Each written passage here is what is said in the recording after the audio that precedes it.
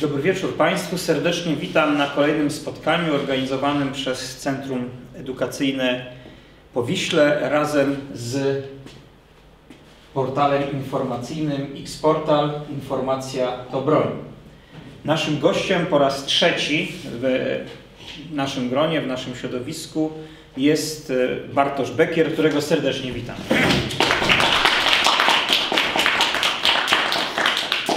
Dwa poprzednie spotkania były bardziej, e, znaczy jedno było bardziej historyczne, drugie bardziej takie e, teoretyczne, to znaczy historyczne dotyczyło państwa słowackiego księdza Józefa Tiso i e, różnych e, historii z tym związanych z okresu 1939-45. Natomiast e, później mieliśmy spotkanie na temat wojen czwartej generacji, e, czyli mniej więcej rok temu było ostatnie spotkanie, a e, dzisiaj e, myślę, że bardzo ciekawy i na czasie temat e, Hezbollah, partia Boga w systemie bezpieczeństwa, e, bliskowschodnim systemie bezpieczeństwa, o może tak, żeby było już, już dokładnie. Proszę Państwa, no Hezbollah jest partią libańską, z, związaną mocno też z e, swoim największym sojusznikiem, jakim jest e, Iran.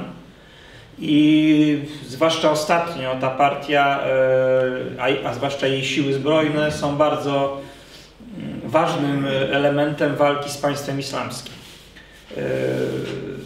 zaangażowanie w obronę e, Syrii przed agresją e, państwa islamskiego e, spoczęło głównie oczywiście na syryjskiej armii arabskiej, ale również na ochotnikach właśnie z Iranu, na siłach Hezbollahu, które operują na terenie Syrii, no i oczywiście na przykład w pewnym okresie na pewno też Dużą rolę odgrywało tam na przykład rosyjskie lotnictwo, które wspomagało e, stronę e, rządową. O tym, e, czym jest Hezbollah, kiedy powstał, jaka jest jego historia, o tym wszystkim dowiemy się z prelekcji, którą proszę o rozpoczęcie. Będzie towarzyszyła nam prezentacja multimedialna. Proszę bardzo. Bardzo się cieszę, że mogę po raz kolejny wystąpić w Centrum Edukacyjnym Śle. Faktycznie od już dłuższego czasu prosił mnie, żebym wygłosił e, wykład o Hezbollahu. Wreszcie się udało, więc bardzo się cieszę. Mm, Państwa obecność tutaj też świadczy o tym, że jest to temat, którym e, warto się interesować, ponieważ skoro przyszliście Państwo, e, poświęciliście swój czas, zgromadziliśmy się tutaj, no, wskazuje to na to, że jesteście Państwo zainteresowani tym tematem, a jest to temat trzeba powiedzieć, kontrowersyjny. Temat, który też w takim głównym dyskursie, jeśli już się pojawia najczęściej, e, tylko w takim kontekście, że Hezbollah jest organizacją terrorystyczną. I tak, trzeba powiedzieć, że Hezbollah w wielu państwach jest uznawany faktycznie za organizację terrorystyczną. W większości państw e, jako terrorystów uważa się tylko pion wojskowy tej organizacji. Natomiast są oczywiście państwa, takie jak Stany Zjednoczone, jak Kanada, e, czy między innymi państwo położone w Palestynie, które jakby uznają, że cała organizacja jest organizacją terrorystyczną i wszelkie jakieś konotacje e, osób, e, tudzież innych organizacji z tą strukturą Hezbollahu są uważane już za pretekst do tego, żeby na przykład zatrzymać taką osobę właśnie pod pretekstem ścigania terroryzmu. E, dlaczego ja się zajmuję tym tematem? E, z kilku względów. Po pierwsze, zajmuję się naukowo wojną czwartej generacji, e, wojnami hybrydowymi, także strategiami asymetryzacji. Mm, I Hezbollah jest taką organizacją, taką strukturą, która właśnie jest bardzo ciekawa pod tym względem do opisu naukowego, ponieważ ona łączy w sobie cechy kilku różnych podmiotów. E, tutaj już kolega Rafał, zapowiadając e, nasze, nasze spotkanie, e, mój wykład, powiedział, że jest to partia polityczna. Oczywiście Hezbollah nie jest tylko i wyłącznie partią polityczną. On w wielu aspektach swojej działalności wykracza daleko poza definicję partii politycznej. No o tym za chwilę.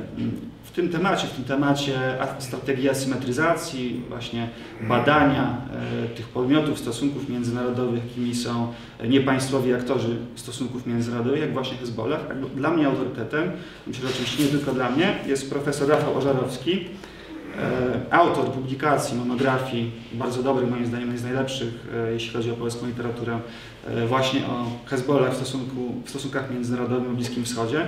Polecam tę publikację.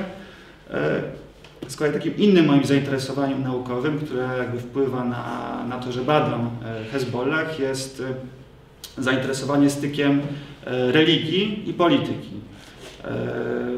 w tym także właśnie konfliktów, które mogą z tego wyniknąć, konfliktów etnoreligijnych. I tutaj takim autorytetem z kolei właśnie w polskiej nauce jest profesor Radosław Zenderowski, który zresztą właśnie jest recenzentem mojej już z kolei książki Naród i religia w państwie słowackim, którą będzie dzisiaj też można po nabyć, jeśli ktoś jeszcze tego nie zrobił, bardzo zachęcam. I trzeci powód, dla którego zajmuję się tematem właśnie tym związanym z konfliktami etnoreligijnymi na Bliskim Wschodzie i Hezbollahem, jest to, że jestem falangistą, polskim falangistą, nie libańskim, o, o, o tym też będziemy mówić, a jednocześnie redaktorem naczelnym portalu xportal.pl.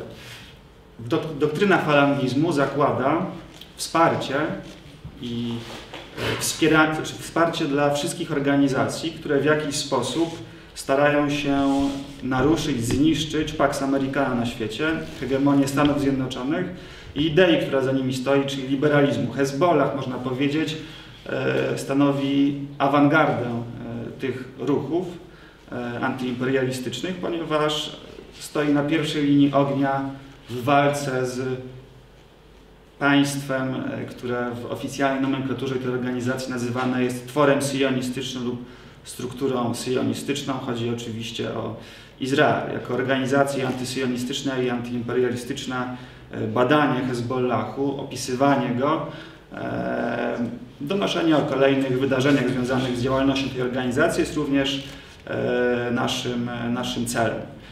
I teraz jak Państwo zajrzycie na eksport, a po tym spotkaniu być może, zobaczycie, że właśnie przetłumaczyliśmy najnowsze przemówienie przywódcy Hezbollahu Hassana Nasrallaha dotyczące tego, że Donald Trump, prezydent Stanów, prezydent Stanów Zjednoczonych uznał Jerozolimę za stolicę tworu syjonistycznego i oczywiście ze strony Hezbollahu, jak i organizacji palestyńskich tego rodzaju ruch nie mógł zostać zignorowany.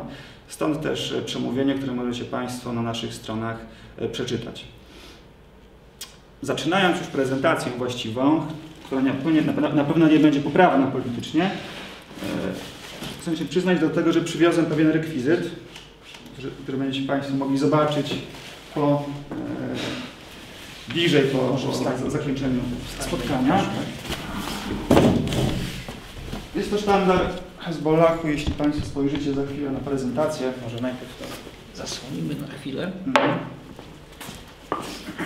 To oryginalny sztandar Hezbollahu przywieziony przez nas z naszej misji do Syrii. Jak wiecie Państwo, Hezbollah operuje również w Syrii. Na, na prezentacji zobaczycie Państwo, że faktycznie właśnie pod taką, tak, takim sztandarem wojska, wojska Hezbollahu prowadzą swoje ofensywy, robią zdjęcia propagandowe i tak dalej.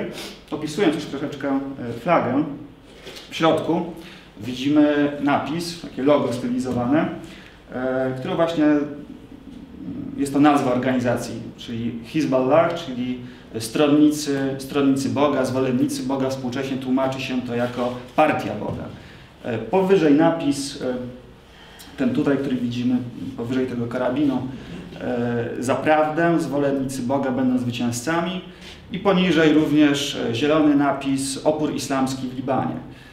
Litera A w słowie Bóg, arabskim słowie Bóg Allah, jest, jak widzicie Państwo, stylizowana na rękę trzymającą karabin. Moż, można powiedzieć, że to taka hybryda naszego symbolu. Z jednej strony ręki z mieczem, a z drugiej strony symbol najlepszego portalu. Na razie składam tę flagę, będzie można sobie potem ją obejrzeć z bliska. A teraz zaprezentuję jedno, że nieco mniejsze flagi Hezbollahu w czasie demonstracji pod warszawską ambasadą Izraela zawsze wzbudzają najwięcej emocji. Zawsze jak jest jakaś kontrmanifestacja robiona przez Żydów, nasyłają na nas policję, no i policja najczęściej podchodzi, mówi proszę pana, tutaj są jakieś flagi organizacji terrorystycznej, wtedy bardzo łatwo, bardzo łatwa jest rozmowa akurat z polskimi policjantami. Mówię, proszę pana, ale ta organizacja jest uznawana za terrorystyczną w Izraelu, w Stanach i w paru innych państwach. Natomiast w Polsce nie jest organizacją terrorystyczną, dlatego możemy legalnie i bez problemu tą flagą się posługiwać. I rzeczywiście policjanci przyjmują to e, i, i później już e, ich interwencji nie ma. Myślałem, że tak szybko nie wpadniemy w anegdotę, ale tutaj muszę też w takim razie wtrącić, że faktycznie kiedyś z tym sztandarem Hezbollahu również udaliśmy się pod ambasadę tworu sionistycznego. Była to akurat w rocznicę śmierci, e, tragicznej śmierci syna, Bo, syna Bolesława Piaseckiego, Bogdana Piaseckiego, który został e, zamordowany przez sprawców, którzy następnie uciekli do Izraela i właśnie z tą flagą się tam, z tym sztandarem się tam pojawiliśmy. I taka ciekawostka, e, no, byłem też świadkiem sytuacji, w której policjant, który właśnie spisywał uczestników tej demonstracji, był w kontakcie radiowym z ambasadą Izraela i wszystkie dane które były odczytywane, spisywane z, z dowodów osobistych i tak dalej, i tak dalej. Do... Tak, były automatycznie przekazywane do placówki, gdzie prawda, Mossad już zrobił z nich, zrobił, e, to było 21 stycznia. W styczniu 22 albo 1 stycznia. Ale tego roku? Nie, nie, dwa lata wcześniej. W 16, 2016 roku. Dobrze, ale proszę, proszę Państwa, na, na razie może koniec anegdoty, przejdźmy, przejdźmy do... Przejdźmy do ustawy o ochronie danych osobowych, która obowiązuje w Polsce od 97 roku? No niestety. Niestety tak. To już, tak to już działa. Tak, ale nie ma konsekwencji, mamy do, do, do Dobrze, ale to myślę ewentualnie w ramach dyskusji. Posłuchajmy prezentacji. Dobrze, to już właśnie nie, nie wchodźmy może w anegdoty, bo to zawsze jest gorący temat, zwłaszcza przy takim temacie jak dzisiejszy. Więc e, jeszcze, tak, jeszcze w takim razie przedstawię strukturę tej, tej prezentacji dzisiejszej. W pierwszej kolejności powiem o, o, tym, o, o tym, że Hezbollah jest oczywiście organizacją integralnie szyicką. E, cała ideologia jego właśnie wynika z, z, tego, z tego odłamu e, islamu. Omówimy sobie kilka, kilka takich najważniejszych kwestii demograficznych i, i również związanych z wykształceniem się szyizmu. Potem w kilku słowach opowiem o samej tożsamości ideowej Hezbollahu, która oczywiście wykracza daleko poza, poza same interpretacje religijne.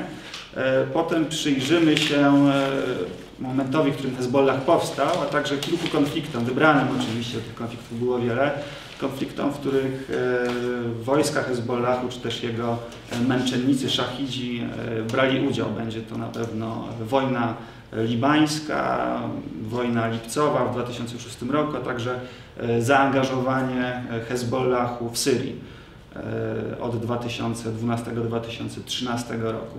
I na koniec spróbujemy sobie odpowiedzieć na pytanie, czym w zasadzie, w zasadzie jest Hezbollah, bo jego tożsamość, jego podmiotowość możemy rozpatrywać na kilku różnych płaszczyznach. E, jest to sprawa dość skomplikowana, mam nadzieję, że uda się to w miarę w sposób przejrzysty przedstawić. I zaczynając już prezentację, e, widzimy teraz e, mapkę przedstawiającą e, taką bardzo ważną zależność demograficzną, mianowicie udział szyitów, w, procentowy udział szyitów, jeśli chodzi o strukturę wyznaniową w poszczególnych państwach na Bliskim Wschodzie.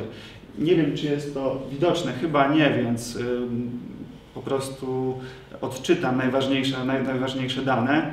E, z mapki wynika bowiem, że tylko trzy państwa e, na Bliskim Wschodzie są większościowo państwami szyickimi. Jest to oczywiście Iran, e, Azerbejdżan i Irak. Jest to fakt, który jest bardzo ważny z punktu widzenia strategii Hezbollahu i jego oczywistych ograniczeń. Skąd się wziął szyizm? Szyizm jako odłam islamu, jeden z trzech odłamów islamu, E, wykształcił się w VII wieku e, podczas konfliktu, który dzisiaj e, musielibyśmy umieścić w kategoriach konfliktu politycznego. Mianowicie czwartym kalifem został Ali, który miał swoich stronników, a po drugiej stronie tego sporu politycznego znajdowała się żona zmarłego już proroka Mahometa, Aisha, oraz ród Umajadów. I te dwa rywalizujące ze sobą stronnictwa e, walczyły o przywództwo w świecie islamu. E, zwolennicy Aliego, Shiat Ali, stąd szyici, e, uważali, że jedynymi następcami Mahometa mogą być jego krewni. Ali był krewnym Mahometa, oczywiście był jego bodajże bratem stryjecznym. Z kolei zwolennicy Ajszy i rodu Majadów negowali całkowicie to podejście, jakby z korzyścią dla siebie, tak? bo chcieli sami wyznaczać następców proroka. No i na tym polu e, te, dwie, e, te dwa wielkie odłamy islamu się rozeszły. Dzisiaj szyici stanowią zaledwie 10% wszystkich muzułmanów na świecie. Największym państwem szyickim jest E, oczywiście Iran, między 78 a 80 milionów obywateli. E, następnie mniejsza, czy większość, e, większość szyicka w Iraku również stanowi dość poważną siłę, a reszta tak naprawdę szyitów we wszystkich państwach, poza jeszcze Azerbejdżanem, stanowi mniejszość. I to, że szyici przez większość swojej historii stanowili mniejszość, dodajmy prześladowaną mniejszość, wpłynęło również na samą może to brzydko zawsze, matrycę ideową szyitów. Jednym z takich założeń, e, które szczególnie właśnie w islamie szyickim e, było popularne jest założenie taki, takija, czyli skrywanie swoich poglądów, skrywanie swoich e, przekonań religijnych w obawie przed prześladowaniami. Tak samo ważny bardzo jest w szyickim odłamie islamu kult męczenników, szachidów również właśnie z uwagi na to, iż, e, iż był to nurt, który był szczególnie prześladowany przez większość swojej historii. I tak naprawdę dopiero rewolucja irańska, w, e, która miała miejsce w 1979 roku, odmieniła nieco ten stan rzeczy i wreszcie szyici mogli stworzyć swoje własne państwo, które całkowicie jakby zostało integralnie podporządkowane zasadom tej religii. Teraz przyjrzymy się temu, jak wygląda struktura wyznaniowa w takim ujęciu geograficznym Libanu, gdzie działa Hezbollah. Widzimy, że na kolorem e, takim czerwonym zostały zaznaczone te części Libanu, gdzie, e, które zamieszkują w większości szyici. E, widzimy, że są to tak naprawdę trzy obszary. Południowy Liban, Liban północno-wschodni oraz południowe przedmieścia Bejrutu, południowy Bejrut. Jest to także bardzo ważne z punktu widzenia e, organizacji, o której dzisiaj e, będziemy rozmawiać. Teraz krótko postaram się omówić tożsamość ideowo-polityczną Hezbollahu, wypływającą właśnie z, z, z religii, jaką jest e, szyizm. Pierwszą taką zasadą, bardzo ważną dla ukonstytuowania się całej struktury organizacyjnej e, jest zasada wilayat fakih, czyli zasada przywództwa uczonych w prawie. E, tak naprawdę chodzi o duchownych, proszę Państwa. Duchownych, którzy właśnie po rewolucji irańskiej przyjęli władzę w Iranie, e, którzy stworzyli jakby taką nadbudowę, jeśli chodzi o system władzy właśnie rządy duchownych, z przywództwem Ayatollaha, czyli e, Ayatollah w tej doktrynie Waliyat Fakih nosi, nosi tytuł Wali Fakih albo Wali al-Fakih po arabsku. To pierwsza nazwa jest z języka perskiego. E, doktryna ta zakłada, że właśnie struktura państwa musi mieć taki charakter e, hierarchiczny, nie jest tak egalitarna, jak często się to przypisuje niektórym fundamentalistom w, fundamentalistycznym ugrupowaniom sunnickim.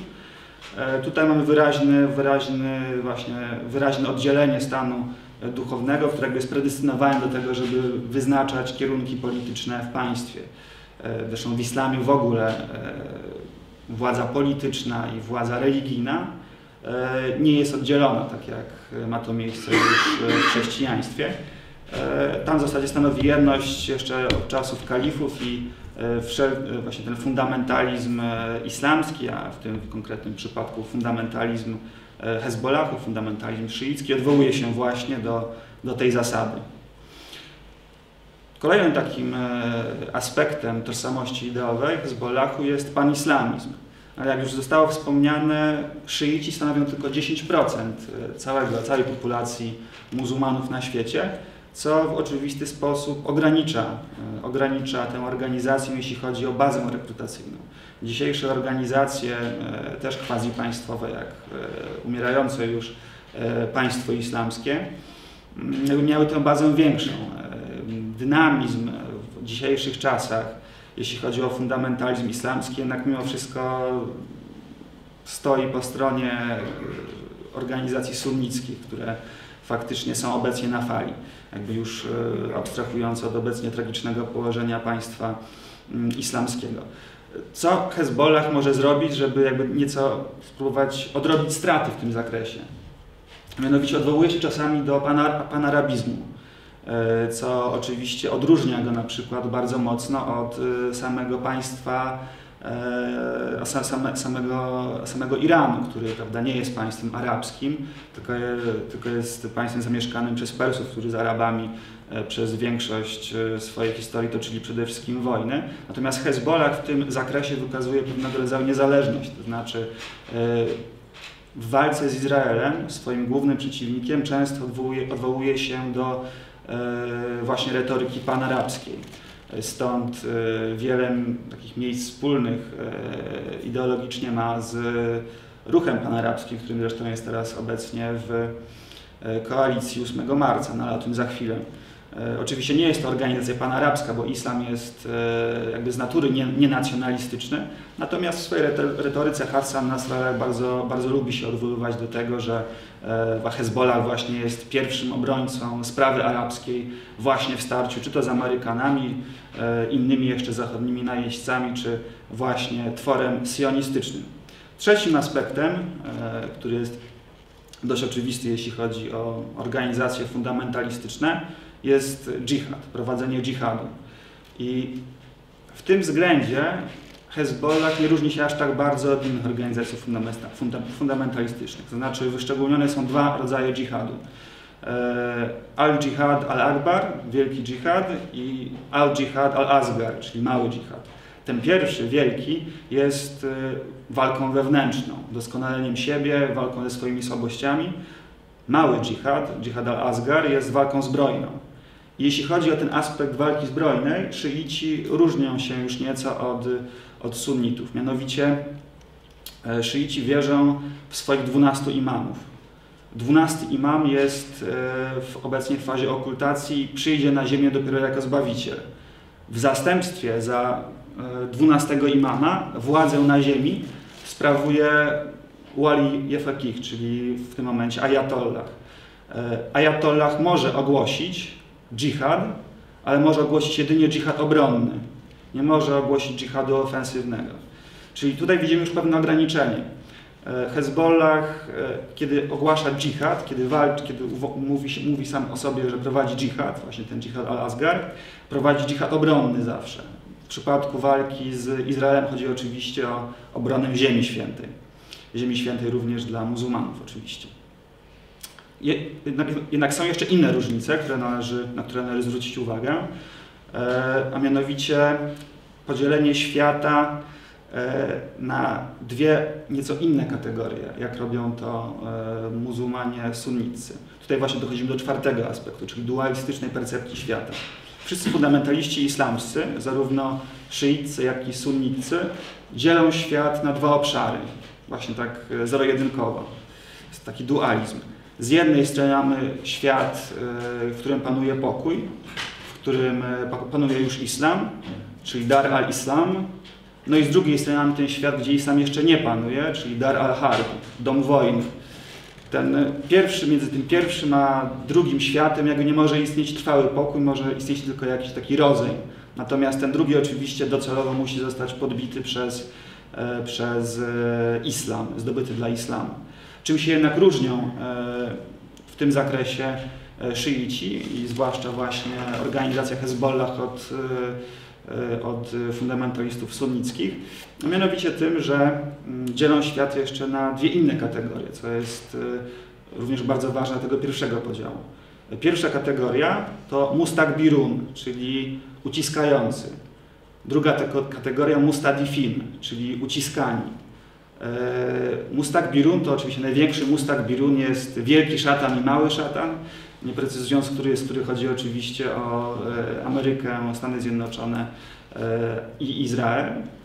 Mm, to jest największy Mustak Birun, państwo uciskające. E, te dwa państwa mają swoich wasali, swoich satelitów, takich nieco mniejszych Mustak Birun. No i są jeszcze państwa, które są zaledwie takimi podwykonawcami tych, tych większych narodów uciskających. I to jest ta trzecia kategoria. Czy Hezbollah uznałby Polskę za którąś z tych kategorii? Trudno, trudno w tym momencie to stwierdzić. Yy, może nawet nie zgłębiajmy tego tematu. Yy, zresztą nie ma żadnych, nie, nie ma żadnych e, pisemnych, przynajmniej ja do nich dotarłem, e, bezpośrednich odwołań w ideologii czy, czy w e, przemówieniach przywódców Hezbollahu w stosunku do Polski. Ale właśnie jest ta druga kategoria, która być może spowodowałaby, że Polska znalazłaby się w tym obozie, mianowicie mustadifiny, czyli uciskani przez tych pierwszych. Między Mustakbirun a Mustadifin występuje ta właśnie oczywista zależność, że ci więksi w sposób niesprawiedliwy okupują, uciskują tych, tych, tych wykorzystywanych. Tutaj pojawia się też inne pojęcie, którym Hezbollah się posługuje, mianowicie pojęcie sprawiedliwości społecznej i dziejowej. Jeśli chodzi o sprawiedliwość dziejową, e, to w tym jakby koncepcie e, Mustadifin nie tylko mogą być państwami muzułmańskimi, ale może to być na przykład katolicka Polska. I katolicka Polska, gdyby na przykład można by wykazać, że nasza obecna zależność względem Stanów Zjednoczonych jest jakimś spiskiem E, elit i warszawskich i waszyngtońskich, to jest niestety optymistyczne bardzo założenie, wbrew pozorom, e, no to wtedy można by uznać, uznać, że jesteśmy właśnie tym narodem uciskanym, niezależnie od tego, że nie jesteśmy narodem muzułmańskim. Właśnie bojownicy Hezbollahu e, wówczas, jeśli nadejdzie taki rozkaz, mogą nas wesprzeć w walce z najeźdźcą, ale to już zbytnia, zbytnia fantastyka. Teraz kilka słów o powstaniu Partii Boga. Partia Boga, jej taka główna, główna siedziba mm, została ustanowiona w 1982 roku, e, gdy zaczynała się już e, wojna libańska. Została ustanowiona w Baalbek, zresztą e, starożytne centrum kultu solarnego bóstwa, jakim był Baal, tak na marginesie tylko. Jest, to miasto znajduje się w Dolinie Bika. Dolina Bika jest bardzo dobrym, dobrym punktem wyjścia dla Hezbollahu z dwóch e, najważniejszych przyczyn. Pierwsza przyczyna jest taka, że Dolina Bika jest trudno dostępna. To jest miejsce, które jest, są tam góry, jest infrastruktura na relatywnie niskim poziomie. E, no i jest to dość niedostępna, niedostępny rejon Libanu, z którego łatwo e, kontrolować sytuację poza tym, e, poza tym właśnie obszarem. Wychodzić z uderzeniami na przykład w kierunku południowym czy, czy południowo, południowo-zachodnim.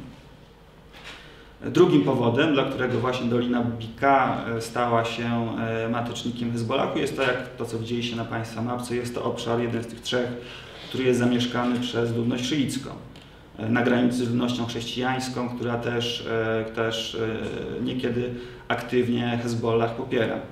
I trzecim powodem, trzecim powodem, dla którego właśnie Dolina Bika i Baalbek stały się siedzibą Hezbollahu, jest to, że w momencie powstawania tej organizacji nie było tam Izraela.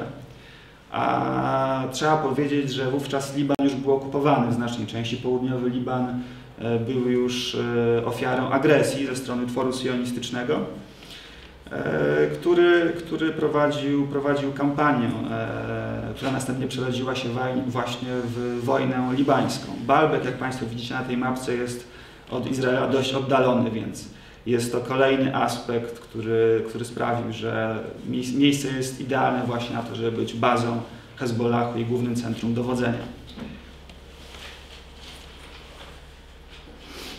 Wojna libańska rozpoczęła się w 1982 roku e, i była spowodowana starciem sił e, Organizacji Wyzwolenia Palestyny, e, która właśnie w południowym Libanie prowadziła ostrzał, głównie za, za pośrednictwem rakiet Katiusza, terytoriów izraelskich, terytoriów tworu sionistycznego i z drugiej strony oczywiście Izrael również prowadził agresywną politykę wobec uciekinierów z okupowanych e, ziem palestyńskich e, i eskalacja tego konfliktu nastąpiła właśnie w 1982 roku, gdy e, Syjoniści zdecydowali się na bezpośrednią inwazję na ziemie libańskie i wojska, tak zwane wojska obrony Izraela, IDF, rozpoczęły swoją operację.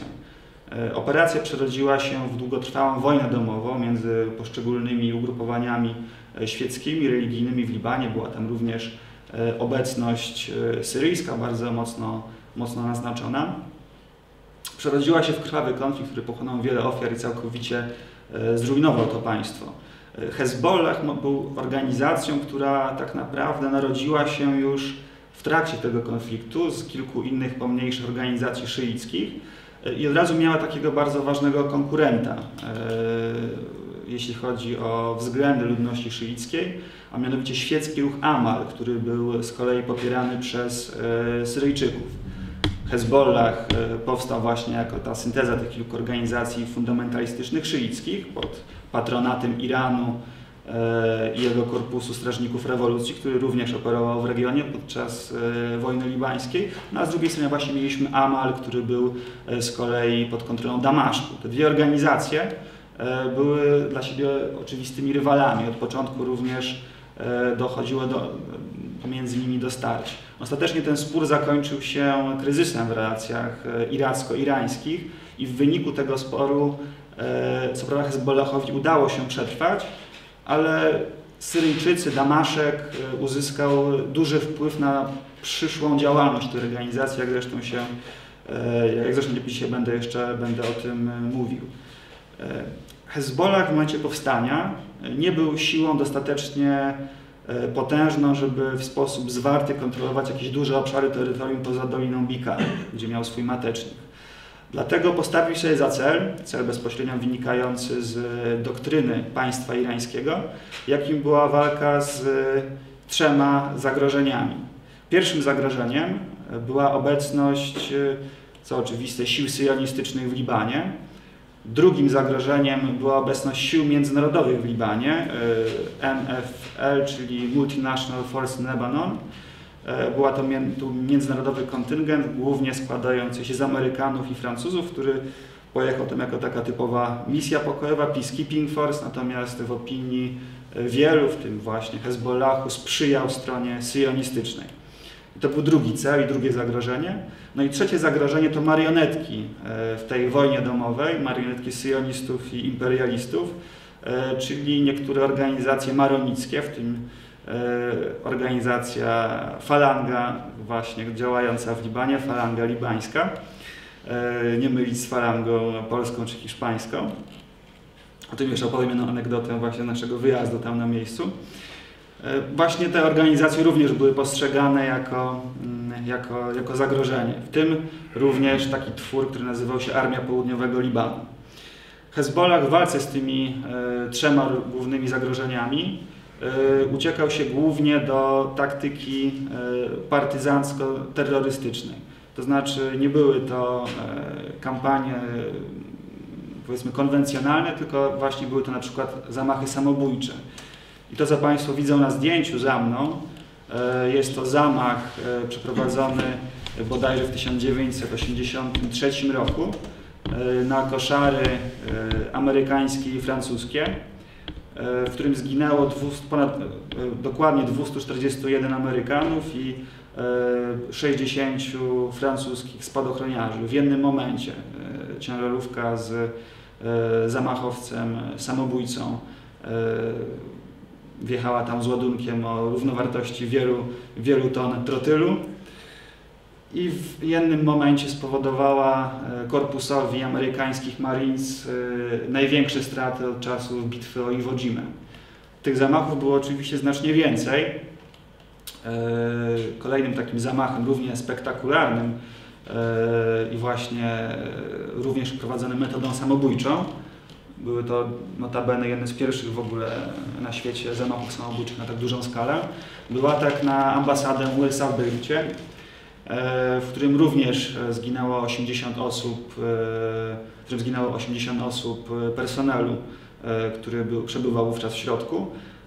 I te wszystkie kroki, o których mówię, spowodowały, że misja tego jednego z wrogów uznanych przez Hezbollah za największe zagrożenie stała się praktycznie niemożliwa, bo wojska amerykańskie i francuskie nie miały wypracowanych E, jeszcze do, dostatecznie dobrze metod postępowania z nowym rodzajem e, działania zbrojnego, w którym e, stronie przeciwnej nie zależy na zachowaniu własnego życia. Ona idzie już walczyć, wiedząc, że zginie. I tutaj na przykład, jeśli chodzi o zamach na ambasadę USA, był to 17-latek, który zresztą ma swój pomnik, który stoi do dzisiaj w Baalbek. Nie byli sobie w stanie z tym poradzić i w związku z tym misja zakończyła się de facto fiaskiem i Amerykanie razem z Francuzami musieli stamtąd szybko się ewakuować, co oczywiście e, było jedną, jedną z e, zasług, e, jak sami to określali, Hezbollah.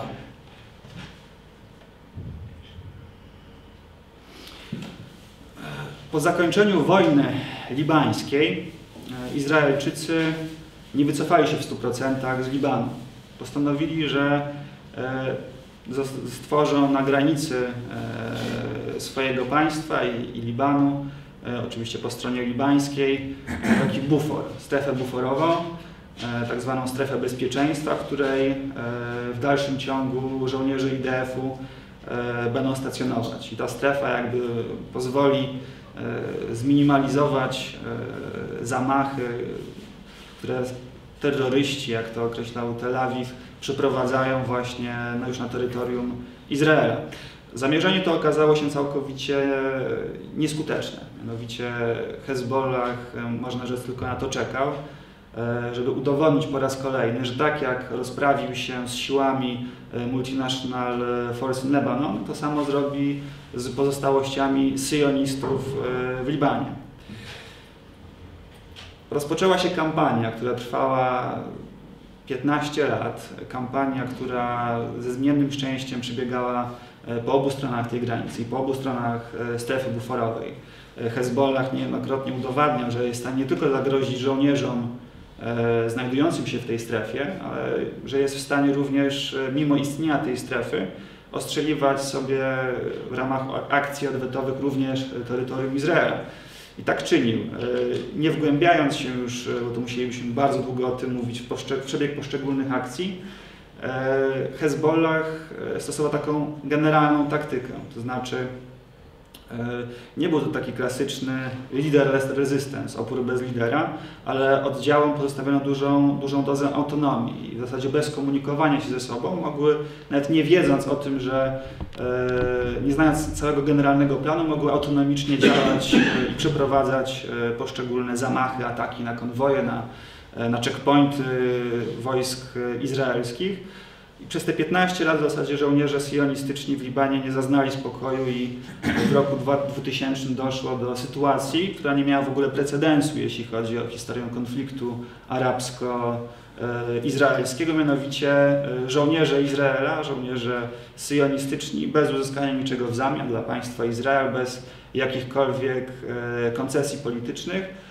musieli, byli zmuszeni w niesławie i z upokorzeniem opuścić zdemilitaryzowaną strefę, co w całym świecie arabskim e, odbiło się bardzo szerokim echem. I właśnie pokazało, że Hezbollah, organizacja, która tak naprawdę jest e, organizacją paramilitarną, to są bojownicy z lekką bronią, lekką bronią przeciwpancerną, lekką bronią przeciwlotniczą, a z jakimiś tam niekierowanymi wyrzutami rakiet ale właśnie organizacją, która jest w stanie zwyciężyć e, państwo z najlepszą, najlepiej wyposażoną i e, najbardziej osławioną w bojach armią na całym Bliskim Wschodzie. I jakby ta legenda Hezbollahu zrodzona właśnie podczas tej kampanii w zasadzie do dzisiaj pozostaje aktualna pomimo tak wyraźnych podziałów w świecie islamskim.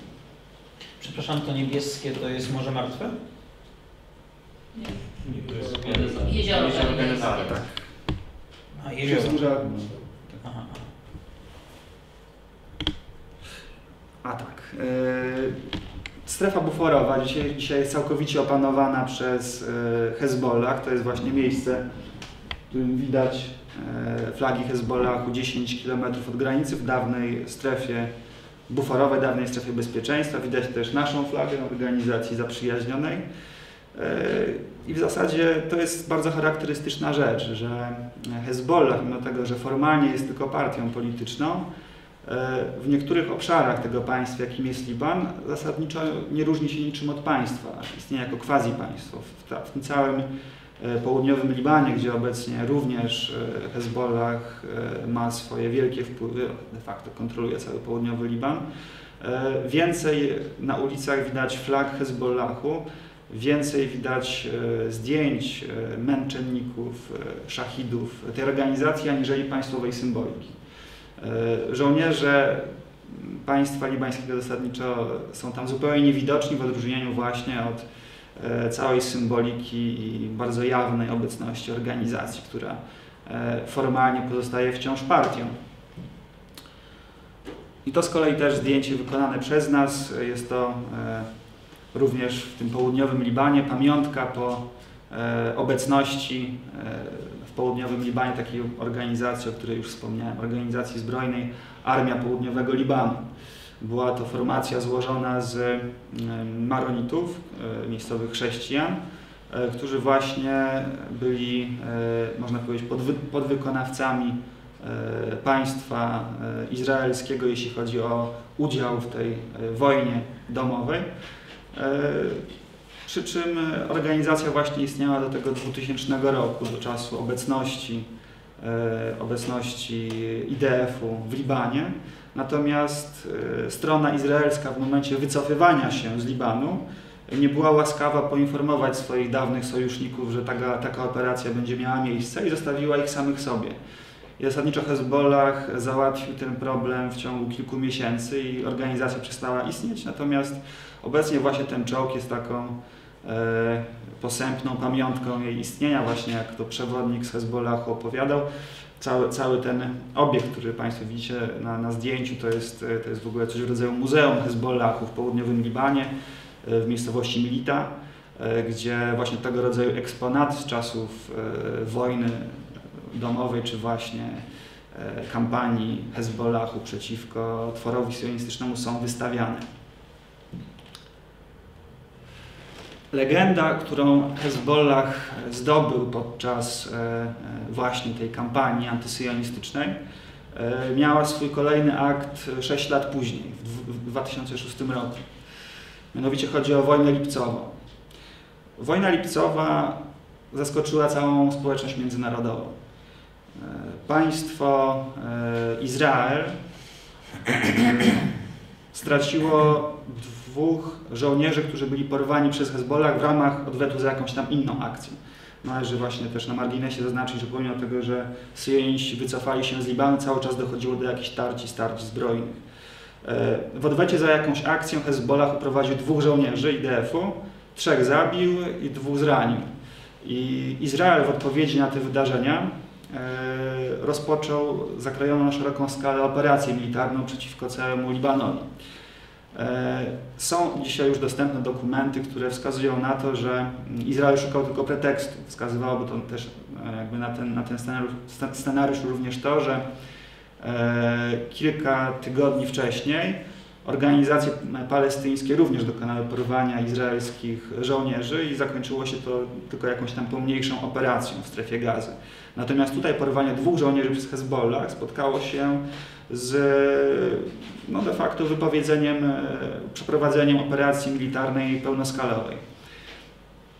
Hezbollah również był przygotowany do tego konfliktu, przy czym w czasach późniejszych, po zakończeniu tej, tej kampanii, Hassan Nasrallah mówił, że gdyby wiedział, że istnieje choćby 1% tego, że 1% szansy na to, że Izrael rozpocznie wojnę przeciwko Libanowi za uprowadzenie tych dwóch żołnierzy, nie zdecydowałby się na to. Niemniej właśnie sytuacja potoczyła się w ten sposób. Izrael zaatakował Liban, e, stawiając przed sobą kilka takich głównych celów. E, Pierwszym celem było zniszczenie Hezbollahu. Hezbollahu, który był postrzegany jako e, irańskie zachodnie centrum dowodzenia, Iranian Western Command w nomenklaturze, w nomenklaturze wywiadowczej. I operacja miała całkowicie unieszkodliwić dowództwo. Hassan Nasrallah miał, nie, miał tego nie przeżyć, miała nie przeżyć cała struktura dowodzenia tej operacji. Drugim założeniem e, było spowodowanie całkowitego osłabienia Hezbollahu przez zniszczenie jego arsenałów rakietowych, zniszczenia jego struktury, jego pionu wojskowego. Trzecim założeniem było dokonanie zniszczeń e, całkowicie świadomie infrastruktury e, osiedli mieszkaniowych. Oczywiście miały z tym się wiązać konkretne ofiary wśród ludności cywilnej. Ofiary oczywiście były.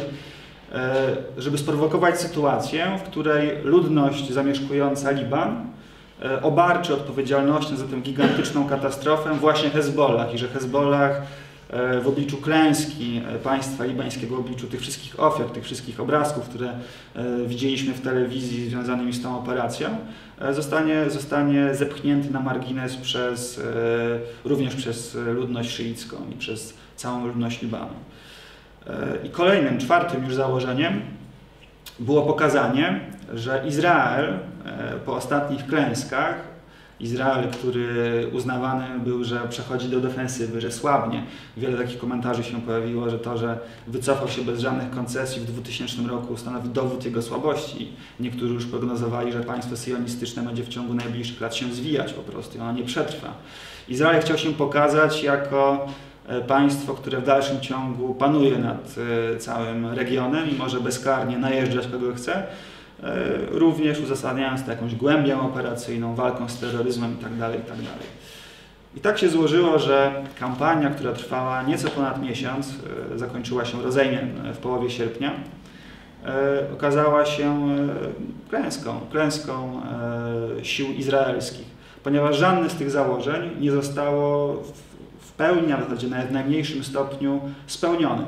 Oczywiście toczy się wciąż jeszcze debata wśród historyków, politologów, ekspertów do spraw wojskowości, kto, czy faktycznie Izrael przegrał tę wojnę. Są oczywiście głosy, że jej nie przegrał, no bo e, ostatecznie to on zdecydował o swoim odwrocie, a e, straty nie były aż tak duże. E, to znaczy tam Izrael stracił około 100 żołnierzy, Hezbollah około 200. E, natomiast e, w perspektywie tych, tych założeń, które Izrael postawił przed całą operacją, była to, była to kompletna klęska. I tak zresztą stwierdziła komisja specjalna komisja przy Knesecie, która, która badała właśnie okoliczności przeprowadzenia tej kampanii. Jej wnioski były jednoznaczne. Najpotężniejsza armia Bliskiego Wschodu przegrała z ludźmi dysponującymi tylko lekkim sprzętem, posiadającymi mniej lub bardziej zaimprowizowaną, zaimprowizowaną linią obrony organizacją, która praktycznie już nie, nie, nie dysponowała takim, taką, taką potęgą jak jeszcze kilka lat wcześniej. Także no, ostatecznie, ostatecznie w moim przekonaniu, w przekonaniu wielu badaczy, cała operacja zakończyła się przegraną Izraela. I to, co widzimy na zdjęciu, e, to jest właśnie również e, obrazek z tego, z tego muzeum w miejscowości Nita. E, jest to najnowocześniejszy czołg ówczesny, chyba wciąż obecny, na wyposażeniu IDF-u, czyli czołg Merkawa 4, który właśnie został porzucony przez e, uciekające e, siły tworu syjonistycznego. Teraz kilka słów na temat najświeższego zaangażowania Hezbollahu w konflikt, który cały czas trwa, czyli w syryjską wojnę domową. E, ta mapka, którą widzimy za moimi plecami jest oczywiście stara, nieaktualna już w znacznej mierze, bo to jest mapa z 2015 roku, tam w tej sytuacji dosłownie co kilka dni coś się zmieniało. Natomiast ona jest ważna przede wszystkim dlatego, że e, jak Państwo spojrzycie na ten szary zarys Libanu, wokół niego jest z kolei taka czerwona strefa, która okaja całą jego granicę. E, jest to strefa, której operowały oddziały Hezbollahu i przejęły de facto kontrolę nad, nad całym tym obszarem. Obszar jest strategicznie ważny e, dla całego Libanu i Hezbollahu e, z powodów strategicznych. Po pierwsze, Dolina Bika, którą Państwu już pokazywałem na poprzednich slajdach, jest w bezpośrednim sąsiedztwie obszarów, które zostały zajęte przez tak zwaną demokratyczną opozycję syryjską, de facto islamistów mniej lub bardziej umiarkowanych, którzy od, sam, od, samego początku wojny z obszarów opanowanych przez siebie prowadzili również ostrzał Libanu, ostrzał właśnie tych obszarów zamieszkanych przez, przez szyitów, dokonywali też zbrojnych wypadków. Więc Hezbollah e, atakując e, e, rebeliantów już na, na ziemiach syryjskich, rozpoczynając swoją misję wojskową na terytoriach Syrii, działał też w swoim najlepiej pojętym interesie. Nie był to tylko odgórny rozkaz ze strony Teheranu czy, czy Damaszku, ale właśnie bardzo ważnym e, z perspektywy przetrwania e, Hezbollahu na przyszłość, ważnym, ważnym działaniem było zajęcie całego tego terytorium przygranicznego i oczyszczania go ze sunnickich fundamentalistów.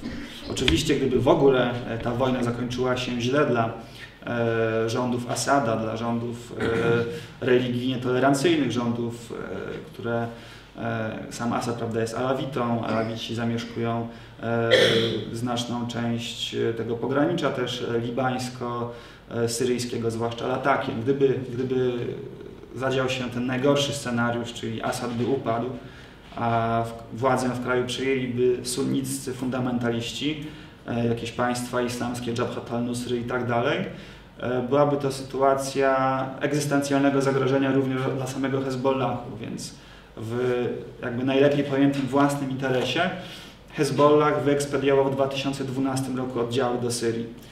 Walczył e, oczywiście w Aleppo, zresztą udział e, bojowników Hezbollahu w walce o wyzwolenie Aleppo był bardzo znaczący.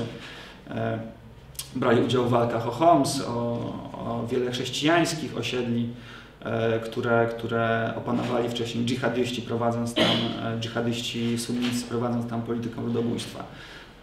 Te działania oczywiście doprowadziły do tego, że w świecie sunnickim Hezbollah został potępiony, prawda, wspiera e, wojnę e, Asada rzekomo prowadzoną przeciwko własnym sunnickim obywatelom. Został potępiony jeszcze przez e, Mursiego, przez, e, który prawda, w, w, w Egipcie wówczas jeszcze sprawował władzę. Był potępiony w zasadzie przez wszystkich przywódców e, e wahabickich w regionie ale ostatecznie w moim przekonaniu samo zaangażowanie Hezbollahu w Syrii e, było koniecznością. Było koniecznością, bo ewentualna przegrana, to najgorszy scenariusz dla Hezbollahu, jaki mógł się, mógł się wydarzyć, to po pierwsze, a po drugie właśnie strategiczne opanowanie tych obszarów sąsiednich do Doliny Bika również było egzystencjalnym interesem Hezbollahu. Oni musieli po prostu to zrobić. Tutaj jeden z przykładów e, tego, jak e, Hezbollah walczył i walczy wciąż e, w Syrii. Widzimy niezbyt wyraźną niestety na rzutniku mapkę pokazującą ostatnią fazę bitwy o Al-Qusair. Miejscowość znajdującą się niedaleko właśnie tego strategicznego pogranicza. Miejscowość też o tyle ważna z perspektywy Damaszku, że znajdującą się na strategicznej drodze łączącej Damaszek z tymi obszarami zamieszkanymi przez Alawitów w Lataki. I kontrola nad Al-Qusair była ważna właśnie z, z, uwagi na cały teatr działań. Hezbollah, e, ekspediując tam swoje oddziały, e, również przyczynił się do jakby globalnego zwycięstwa, jeśli chodzi o obecną sytuację w Syrii. E, widzimy, że tutaj nawet jeśli spojrzymy na ilość tych, tych flag, gdzie, które oznaczają pozycje, w których oddziały Hezbollah stacjonowały, ten udział był duży. E, według takich ostrożnych szacunków około 2000 bojowników Hezbollahu wzięło udział w tej operacji. E, samo oblężenie Al-Qusair trwało już od 2011 roku, kiedy tam, prawda, wspierani przez Zachód e, i przez wywiadowczo przez Izrael opozycjoniści robili swoje demonstracje, następnie chwycili za broń i przejęli kontrolę nad miastem. Miasto zostało było atakowane nieskutecznie przez oddziały wojsk syryjskich, wojsk e, e, rządowych. I właśnie do takiego starcia już decydującego doszło dopiero po dwóch latach oblężenia w 2013 roku, kiedy to siły Hezbollahu podeszły pod miasto Asad skupił duże siły artylerii i wojsk lotniczych i rozpoczął zmasowany ostrzał tych, tych osiedli, a Hezbollah przystąpił do decydującej ofensywy. Jakby zdobycie Al-Qusair było też kwestią prestiżową, ponieważ dowództwo nad oddziałami opozycyjnymi, oddziałami rebeliantów Al-Qusair objął, objął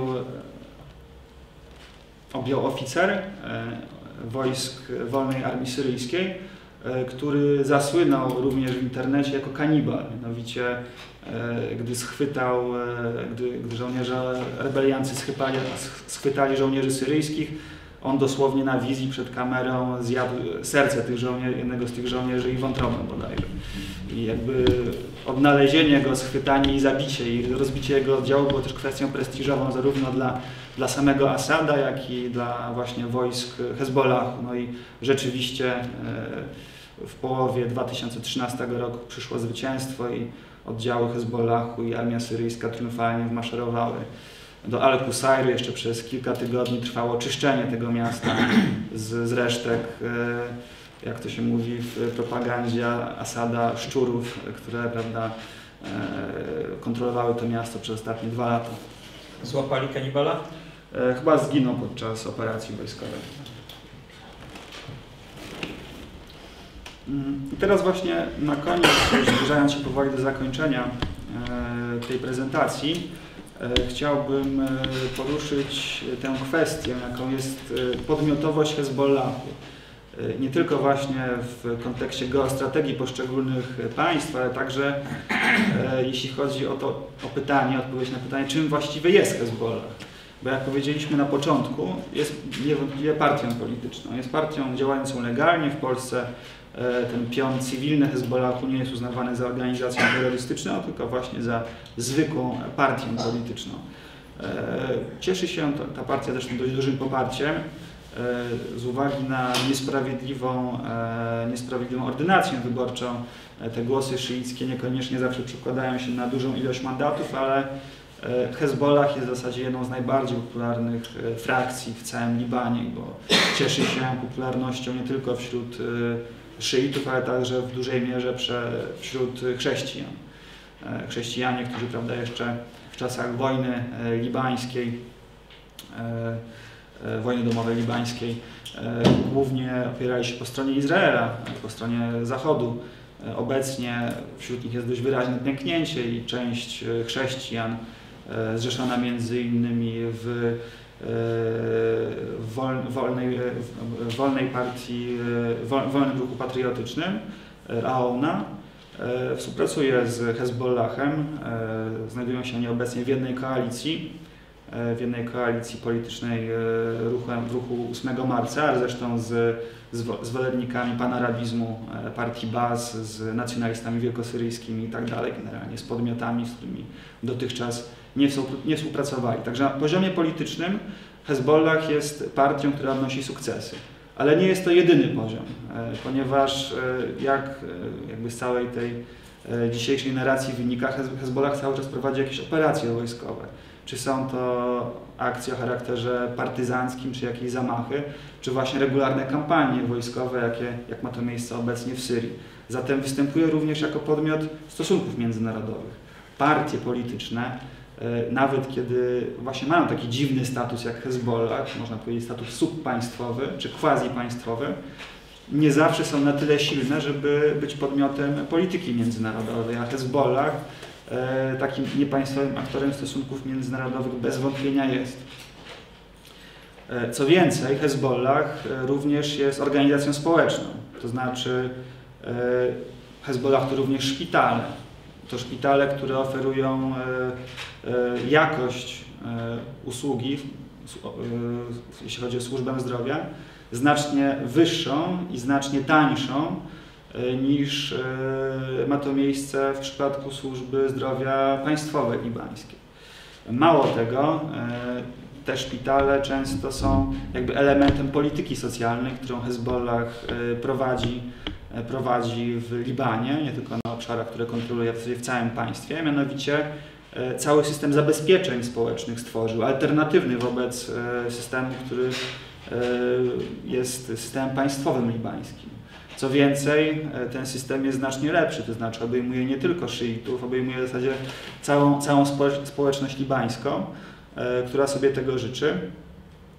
Oczywiście nie, nie bezinteresownie, tak, bo zapewne stoją za tym jakieś polityczne również E, cele, natomiast bez wątpienia, jeśli chodzi o to zabezpie system zabezpieczeń socjalnych, e, również wdzięczność chrześcijan e, Hezbollah zdobył sobie w Libanie. Mm, jeśli chodzi właśnie o podmiotowość Hezbollahu w geostrategii innych państw, już abstrahując jakby od samego kontekstu libańskiego, to możemy to podzielić na jeszcze takie dwa inne aspekty, czyli aspekt syryjski i aspekt irański.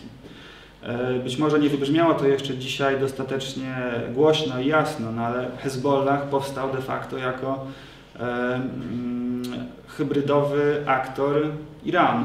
Było, było to narzędzie w geostrategii Iranu do tego, żeby posiadać swoje wpływy przy samym tworze syjonistycznym. Iran zresztą w ogóle ma prawda, mocarstwowe ambicje, które realizuje, które wcześniej realizował e, podczas prac nad programem E, atomowym, ale jest również program e, rozwoju technologii rakietowej. No i trzecim takim aspektem jest właśnie e, budowanie swojego potencjału wojskowego w oparciu o niepaństwowego aktora stosunków międzynarodowych, jakim jest właśnie Hezbollah. I nie jest przesadą powiedzenie, że faktycznie Hezbollah, przynajmniej w tych pierwszych latach swojego istnienia, był szyickim, irańskim desantem w Libanie ten, e, ten status początkowy Hezbollahu zaczął potem z czasem się zmieniać oczywiście. E, istnieje takie zjawisko, które w literaturze nazywane jest libanizacją Hezbollahu, to znaczy wraz z upływem lat e, Hezbollah uzyskiwał coraz bardziej tę tożsamość również lokalną, libańską, wrastał w lokalną politykę, nie był już takim prostym desantem, zdobywał poparcie, jakby wychodził poza tę sektę szyicką do również innych grup społecznych, które wcześniej go nie popierały, innymi chrześcijan czy, czy nacjonalistów e, również arabskich. E, I faktycznie trzeba przyznać, że e, libanizacja Hezbollahu postępuje cały czas. To nie jest zakończony proces. No, będziemy śledzić, jak to, jak to ostatecznie się zakończy. Drugim takim aspektem jest aspekt syryjski. Tak jak powiedziałem na początku, Hezbollah wcale nie miał dobrych relacji z Damaszkiem. To znaczy istniała ta konkurencyjna świecka organizacja szyitów, Amal, która była pod kontrolą Damaszku i rywalizowała o wpływy z proirańskim Hezbollah. Natomiast potem, jak już wspomniałem, doszło do takiego e, ułożenia ponownych relacji między Syrią i Iranem i wypadkową tego jest właśnie ten aspekt geostrategii e, syryjskiej, w którym Hezbollah obecnie stanowi już bardzo ważny element tej geostrategii. Mianowicie stanowi kartę przetargową e, we wszelkich e, konfliktach z państwami zachodnimi i oczywiście tworem syjonistycznym. E, I również można dzisiaj uznać, że Hezbollah w każdej chwili jest w stanie do, przeprowadzić ataki odwetowe gdy tylko w Damaszku, oczywiście w porozumieniu z Teheranem, zrodzi się taka wola polityczna. Więc można powiedzieć, że e, obecnie jest to już nie tyle stosunek rywalizacji, e, czy nawet jakiegoś sojuszu, ale współzależności. I Syryjczycy po tym, jak e, była przeprowadzona cedrowa rewolucja i Syryjczycy stracili swoje tradycyjne wpływy w Libanie, Hezbollah stał się takim ich ostatnim, e, ostatnim atutem w lokalnej polityce e, i w szachowaniu również Izraela. I to oczywiście jeszcze to zdjęcie, które Państwo widzicie, to właśnie jeden z, ze szpitali prowadzonych przez Hezbollah e, w kontekście tego, co mówiłem o polityce społecznej. Jeśli chodzi o samą prezentację, to tyle. Jeśli mają Państwo jakieś pytania, to z chęcią na nie odpowiem. Dziękuję bardzo za bardzo ciekawą prelekcję. Prosiłbym o ewentualnie dorzucenie się do naszej puszeczki w sprawie kolejnych spotkań. Wyłączymy zaraz e, nasz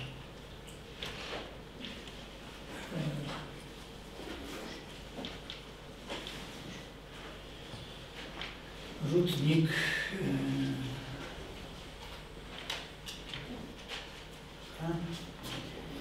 E, proszę Państwa,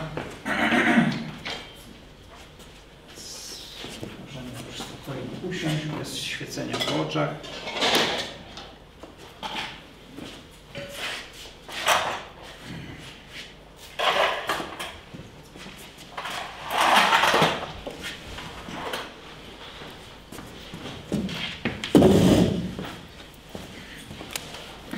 Z takich ciekawostek to jeszcze powiem, że na przykład e, e, profesor Filkenstein, autor słynnej książki Przedsiębiorstwo Holokaust, e, bardzo chwali e, Hezbollah jako właśnie taką nowoczesną i skuteczną e, no, organizację, prawda? Mm, I, i, i, i e,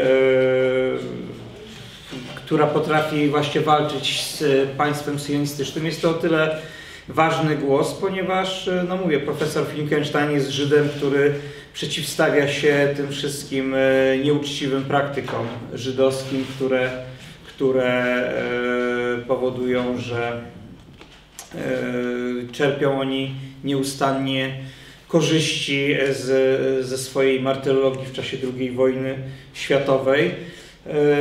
No i jak gdyby uznaje to co, to, co tutaj było powiedziane, że w zasadzie Hezbollah jest jedynym, który pokonał armię izraelską w 2000 roku.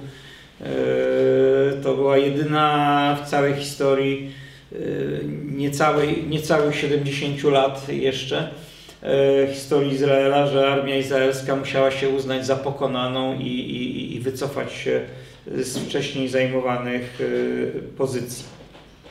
Czy są jakieś głosy w dyskusji, pytania?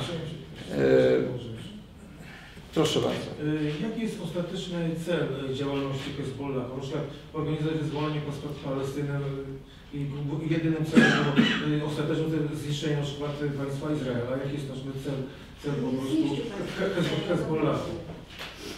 Jeśli, Bo te akcje zbrojne wiadomo mają, to są środ- środki do celu. Jaki jest ten główny czy, czy naczelny cel? Do jakiej sytuacji chce Hezbollah to prowadzić?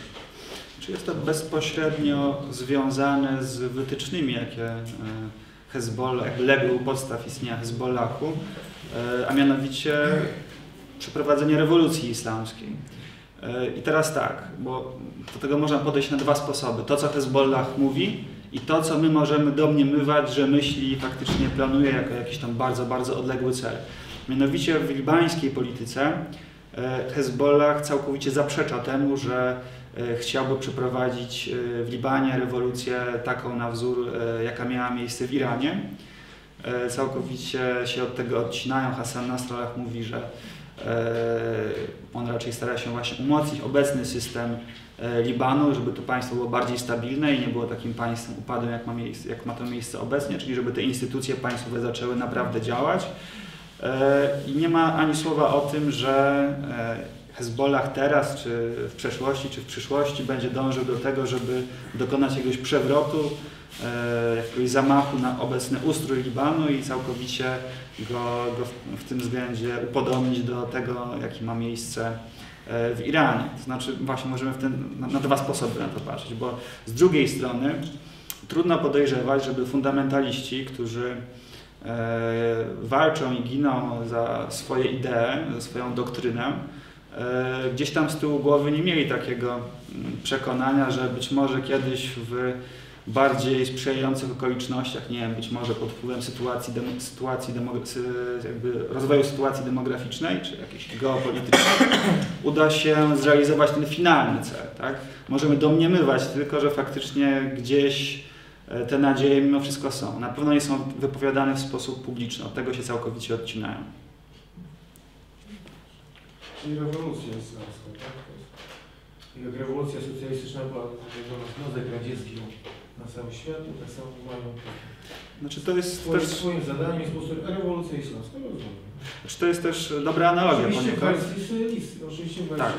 Znaczy to jest też ciekawa analogia, ponieważ e, faktycznie ist- istniało coś takiego w pierwszych latach e, po rewolucji islamskiej, że Khomeini i zresztą całe państwo irańskie plus e, Hezbollah e, odwoływało się do takiego konceptu, jakim jest eksport rewolucji.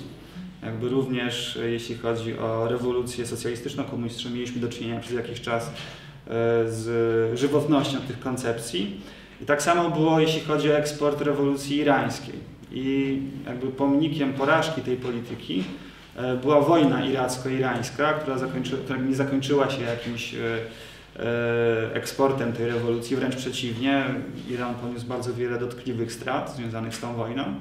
E, I podobnie również Hezbollah w tych pierwszych latach odwoływał się do tych haseł e, zgodnie z zasadą posłuszeństwa, zasadą Waliyat Fakih, odwoływał się również właśnie do tych haseł eksportu, e, eksportu rewolucji. Ale Iran w końcu zrezygnował z tego, przynajmniej oficjalnie, tak? i raczej już e, nie próbuje tego robić e, w sposób jawny, skupia się na rozwoju własnego potencjału i potencjału swoich aktorów hybrydowych, jakim jest Hezbollah. Mhm.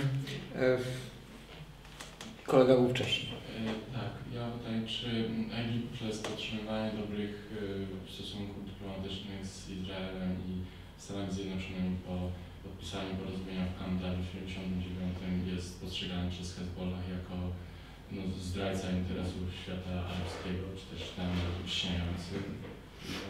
Mhm.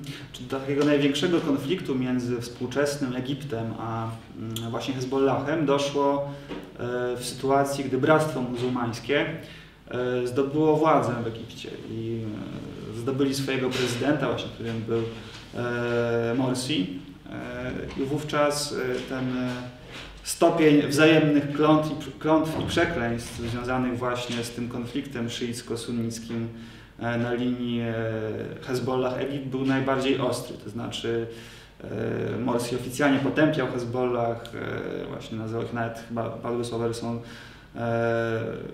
wyrodnym, wyrodnym zdrajcą e, islamu, że e, angażując się jakby po stronie Asada w konflikcie syryjskim, jakby całkowicie e, zwrócili się przeciwko braciom e, muzułmanom i byli postrzegani jako wróg. Zresztą Bractwo Muzułmańskie w tej wojnie brało aktywny udział po drugiej stronie.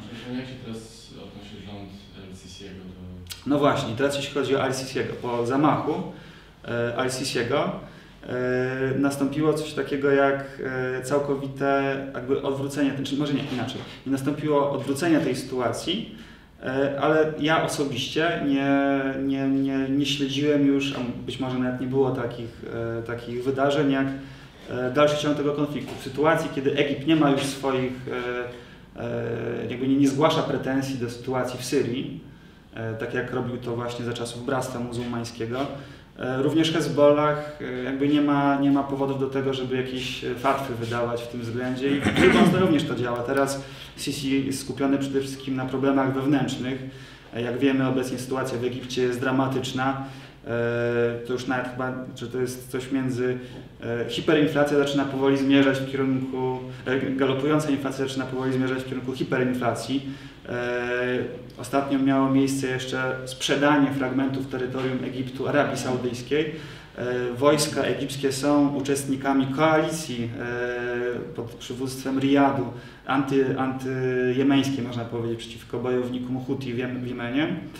I generalnie Egipt ma mnóstwo własnych problemów i nie jest już tak zaangażowany w tę wojnę. Więc można powiedzieć, że od czasów, że między Tahrir a zamachem al-Sisiego te, te stosunki były, można powiedzieć, najgorsze w historii, a już e, po tym okresie, czyli po przejęciu władzy przez e, generała Sisiego, jakby nastąpiło pewne odprężenie, jeśli można tak powiedzieć. Po prostu Egipt ma inne problemy, Hezbollah ma inne problemy.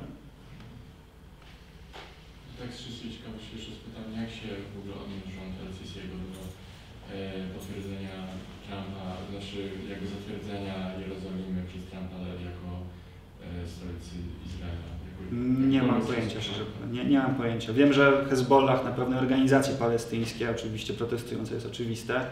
Natomiast jak Sisi się do tego odniósł, czy w ogóle się jeszcze odniósł, to nie mam informacji. Mhm. Proszę bardzo. Ja mam dwa pytania. Najpierw e, zadam jedno z nich. Jeszcze kilka lat temu, zanim Hezbollah zaangażował się w wojnę domową w Syrii, no Hassan Nasrallah zapowiadał, że Hezbollah stał się już na tyle silny, że w razie pełnoskalowej wojny z Izraelem mógłby dokonać no, znacznej ofensywy w głąb terytorium Izraela. jest możliwość w ogóle, żeby ocenić ile, i ile w tym zasadzie jest e, e, propagandy mającej ewentualnie nastra, na, nastraszyć przeciwników, a ile faktycznej prawdy? Czy tak w ogóle, w ogóle jest to, da się zanalizować w tej chwili? Hezbollah w ogóle od początku swojego istnienia szczyci się, że jest jedną z nielicznych organizacji, e, która była w stanie przeprowadzać skuteczne ataki również na terytorium e, samego Izraela i faktycznie jeśli chodzi o arsenał Hezbollahu, którym e, organizacja ta obecnie dysponuje, e, a mianowicie chodzi głównie o pociski e, średniego i krótkiego zasięgu, które mimo wszystko są w stanie dolecieć na terytoria izraelskie, to jest to prawda, tak. Hezbollah faktycznie jest w stanie zagrozić, zagrozić syjonistom wewnątrz ich terytorium, ale głównie poprzez ostrzał rakietowy. E, Według większości danych arsenały dalekiego zasięgu, jakimi tam Hezbollah dysponował w sposób szczątkowy, zostały zniszczone podczas wojny lipcowej w 2006 roku. Natomiast e, to też jest tak, że jakby system antyrakietowy, który jest w Izraelu, e, jakby jest na tyle zaawansowany technicznie, że przede wszystkim pociski krótkiego i średniego zasięgu, zazwyczaj niekierowanej, w ogóle już mówiąc wprost, mówimy po prostu o e, pociskach typu wystrzeliwanych prawda, z Katiuszy, e, nie jest w stanie za bardzo im przeciwdziałać. I jeśli Hezbollah kiedykolwiek ponownie wyrządzi jakieś poważne szkody e, Izraelowi, to wystrzeliwując e, rakiet niekierowane na jego terytorium, tak jak miało to miejsce podczas wojny mm, lipcowej, gdy wystrzelił według różnych szacunków od 600 do 1200 pocisków na terytorium Izraela. Mm, To pytanie drugie. No w tej chwili właśnie szyicki ruch Houthi w Jemenie ym, de facto odpiera saudyjską agresję na, na ten kraj i nie jest tajemnicą, że ruch ten wspierany jest także, także przez Iran. Czy jest możliwość, że właśnie ten ruch albo jakiś inny pokrewny ruch w Jemenie no, stał się czymś yy, rodzajem jakiegoś lokalnego odpowiednika Hezbollahu?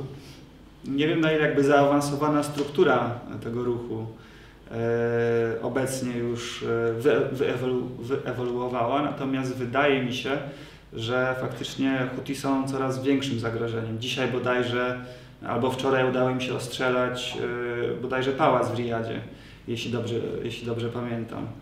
E, Na, no dzisiaj na X-Portalu zresztą jakaś informacja na temat była, muszę wrócić i przeczytać. W każdym razie wydaje mi się, że faktycznie będą coraz większym zagrożeniem. Eee, I to też pokazuje po- jakby stopień tego, w, jaki, w, jaki, w jakim Huti e, opanowali już tę technikę prowadzenia wojny e, partyzanckiej, jest chociażby skala niepowodzeń Arabii Saudyjskiej. Przecież Arabia Saudyjska również dysponuje e, najnowocześniejszym sprzętem, e, przewagą e, ilościową.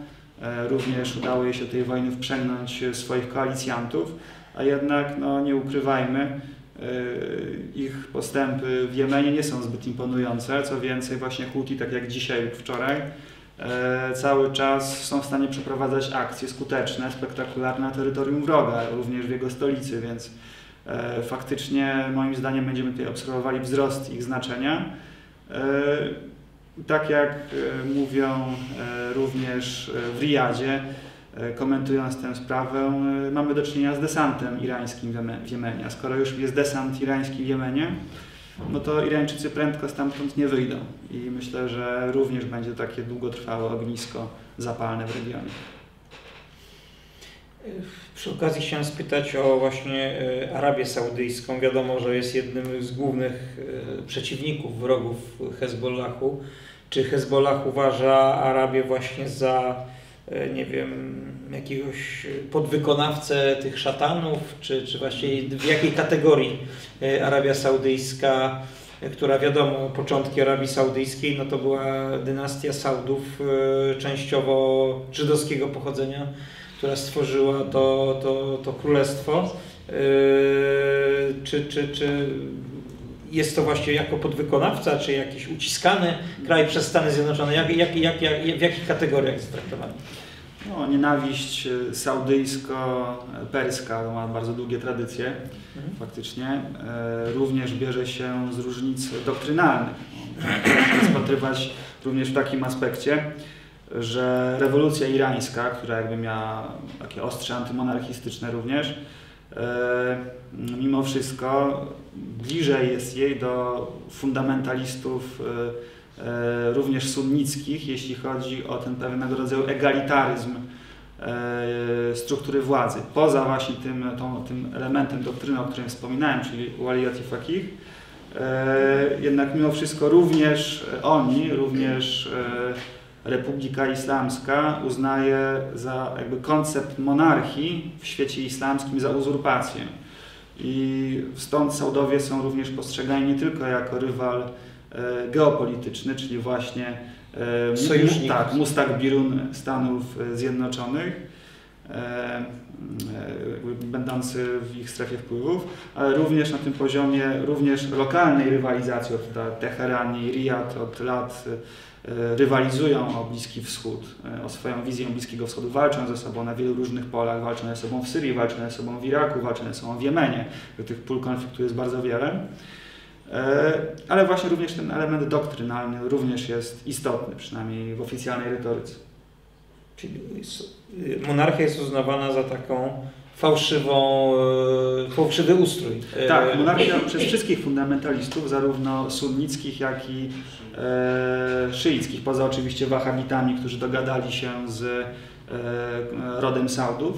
E, wszyscy poza nimi uważają, że monarchia jest w świecie islamskim uzurpacją. Nieważne, czy właśnie mówimy o Hezbollahu, czy, czy o oficjalnej wykładni Teheranu, czy też właśnie na przykład o Bractwie Muzułmańskim, którego Arabia Saudyjska również bardzo się boi bo to właśnie doszło do takiego paradoksu, o tym zahaczyliśmy o ten wątek przy okazji omawiania sytuacji e, w Egipcie, mianowicie e, w momencie, kiedy fundamentaliści sunnicy doszli do władzy w Egipcie, mówię o bractwie muzułmańskim, e, to fundamentaliści wahabiccy, również sunnicy z kraju sąsiedniego, poparli świecki przewrót wojskowy przeciwko tej władzy właśnie tych fundamentalistów. Właśnie dlatego, że obawiali się, że Bractwo Muzułmańskie ze swoją egalitarną, e, e, egalitarnym wodzeniem struktury władzy ideologicznie e, zagrozi w przyszłości e, tronowi Saudów, e, bo wtedy Saudowie już faktycznie będą, będą praktycznie jedynymi uzurpatorami w regionie, tak, tam poza jeszcze jakimiś pomniejszymi e, satelitami. I bardzo się tego obawiali, stąd, stąd również e, podejmowali działania w tym kierunku. Mhm. E, Dwa lata temu żeśmy tutaj pokazywali mm, film o walce z państwem islamskim na terenie e, Syrii. Między innymi tam była taka scena, jak e, e, klasztor świętej Tekli w tej dolinie, tam jest ta miejscowość chyba Malula. Malula. Malula. To jest miejsce, gdzie do tej pory mówi się tym językiem, w którym mówił Jezus Chrystus. Ten obszar był przez chyba ponad pół roku okupowany przez państwo islamskie i właśnie bojownicy e, Hezbollahu oraz armia syryjska wyzwoliła to o, miasto. Z tego co pamiętam, chyba w Wielką Sobotę w 2014 roku i zdaje się na Wielkanoc wizytę tam złożył prezydent e, Syrii, oglądając te zniszczenia w, tej, w tym klasztorze. E, Siostry zresztą zostały przez islamistów stamtąd porwane. E, No niemniej e, wprost było tam powiedziane, że Hezbollah miał duży udział w wyzwoleniu tej miejscowości. Chciałem spytać właśnie o stosunki chrześcijańsko chrześcijan z Hezbollahem. Po pierwsze, czy w ogóle jacyś chrześcijanie walczą w szeregach Hezbollahu, czy raczej jest to niemożliwe? A po drugie, czy te złe stosunki z początku, kiedy istniała ta armia południowego Libanu, proizraelska, e, teraz się zmieniły i czy e, jest więcej współdziałania, czy więcej wrogości? Hezbollah w swojej oficjalnej propagandzie e, zabiega już od lat nie tylko właśnie o względy szyitów, ale także, także chrześcijan i odnosi w tej kwestii sukcesy.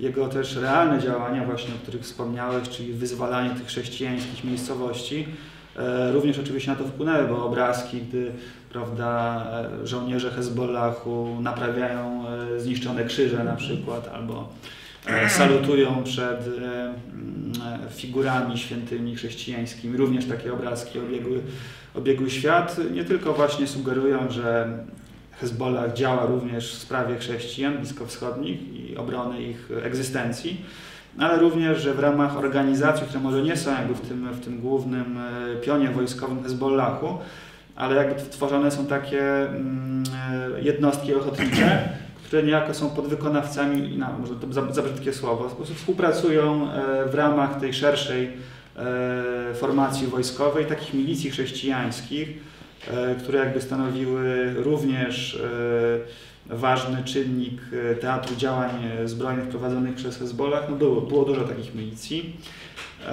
Co więcej, byli to również zwolennicy nacjonalizmu wielkosyryjskiego z Syryjskiej Partii Socjalnarodowej, E, która również ramię w ramię z bojownikami Hezbollahu walczyła o wyzwalanie tych e, obszarów, e, właśnie okolice Maluli, okolice Hims, w których chrześcijanie żyją, choć to właśnie smutne jest to, że mm, dzisiaj już można powiedzieć, że żyli raczej, no bo państwo islamskie dokonało tam prawdziwej masakry, znaczy oni oszczędzali mało kogo, krew chrześcijan lała się tam strumieniami. Według ostrożnych szacunków E, no, większość chrześcijan e, albo opuściła Syrię już, albo została zamordowana tam. I tak jak e, przed mm, wybuchem wojny chrześcijanie stanowili około 10% mieszkańców Syrii, no obecnie uznaje się, że może jakieś 3% z nich zostało w ogóle, tak, że większość wyjechała albo została zamordowana.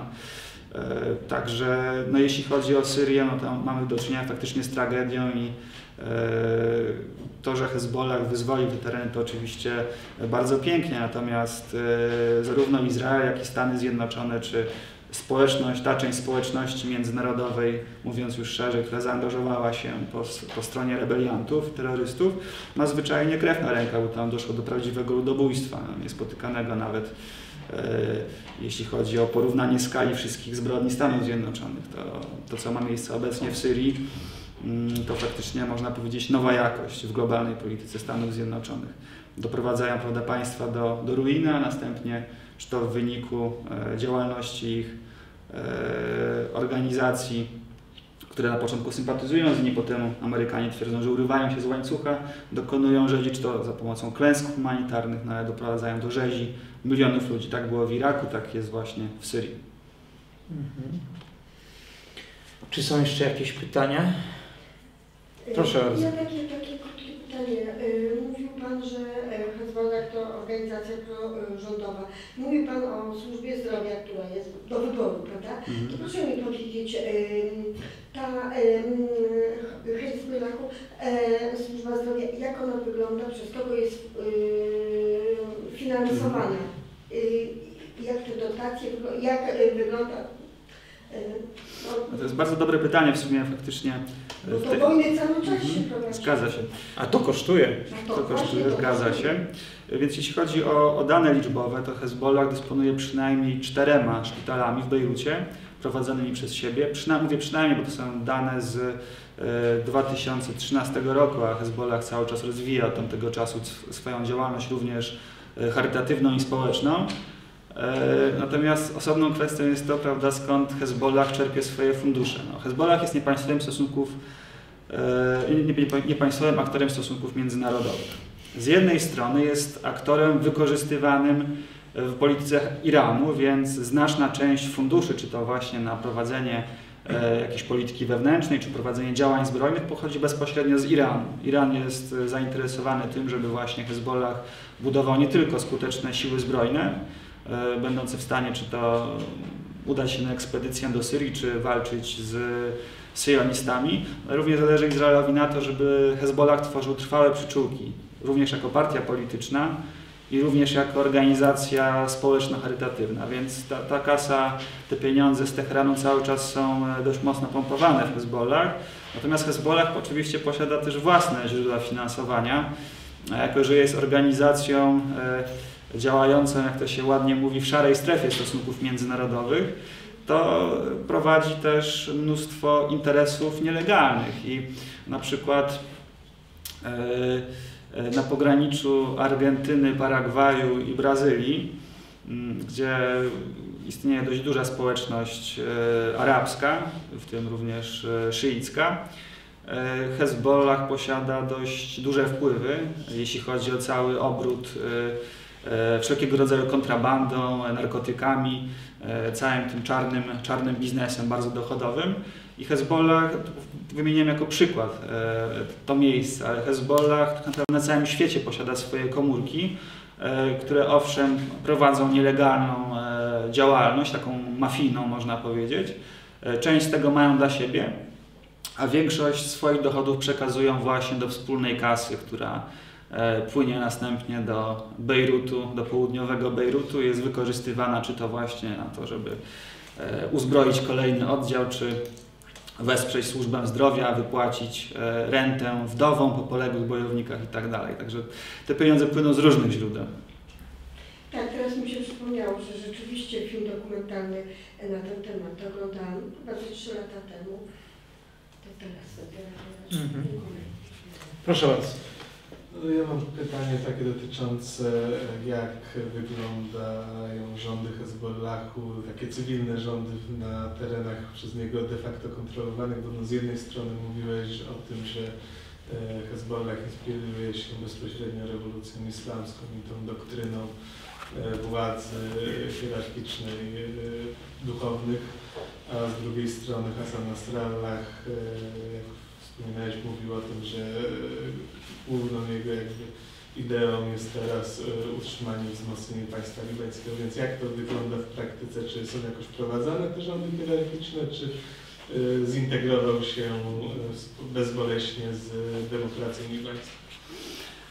Na pewno się nie zintegrował z demokracją libańską. W ogóle mówienie o, o tym, że ten, to państwo w ogóle funkcjonuje jakoś, już jest dużo, dużym nadużyciem, bo to jest taki modelowy przykład państwa upadłego, gdzie nie działa w zasadzie nic, a jeśli działa, to raczej bardziej sprawia pozory tego, że działa. Natomiast y, no, władza leży na ulicy i spacerując po Bejrucie, my akurat y, nocowaliśmy w dzielnicy, która jest pod kontrolą syry, syryjskiej partii socjalnarodowej, e, wielkosyryjskich nacjonalistów e, z siedzibą w Libanie. E, No, spacerując po, po Bejrucie widać, że każda dzielnica ma, ma swoją bojówkę, która ją kontroluje. Tak? I tak wygląda to w całym Libanie. To państwo, ono de facto nie istnieje. Ono jest rozdarte przez podziały religijne, przez podziały polityczne.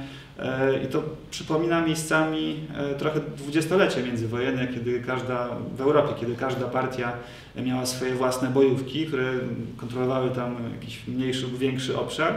E, Przy czym w Libanie mam do czynienia z maksymalizacją tego. Wyobraźmy sobie sytuację, w której państwo jest na tyle e, niedziałające, na tyle ilu- iluzo- iluzoryczne, że te bojówki partyjne po prostu przejmują faktycznie kontrolę nad e, poszczególnymi obszarami i pełnią tam e, praktycznie niczym nieograniczoną władzę. Także nie, demokracja libańska nie funkcjonuje. To są przede wszystkim pozory, e, ale ważne pozory, bo gdyby nie one, doszłoby tam do kolejnej wojny domowej niewykluczone, że dojdzie. Mm, Także to jest jedna rzecz.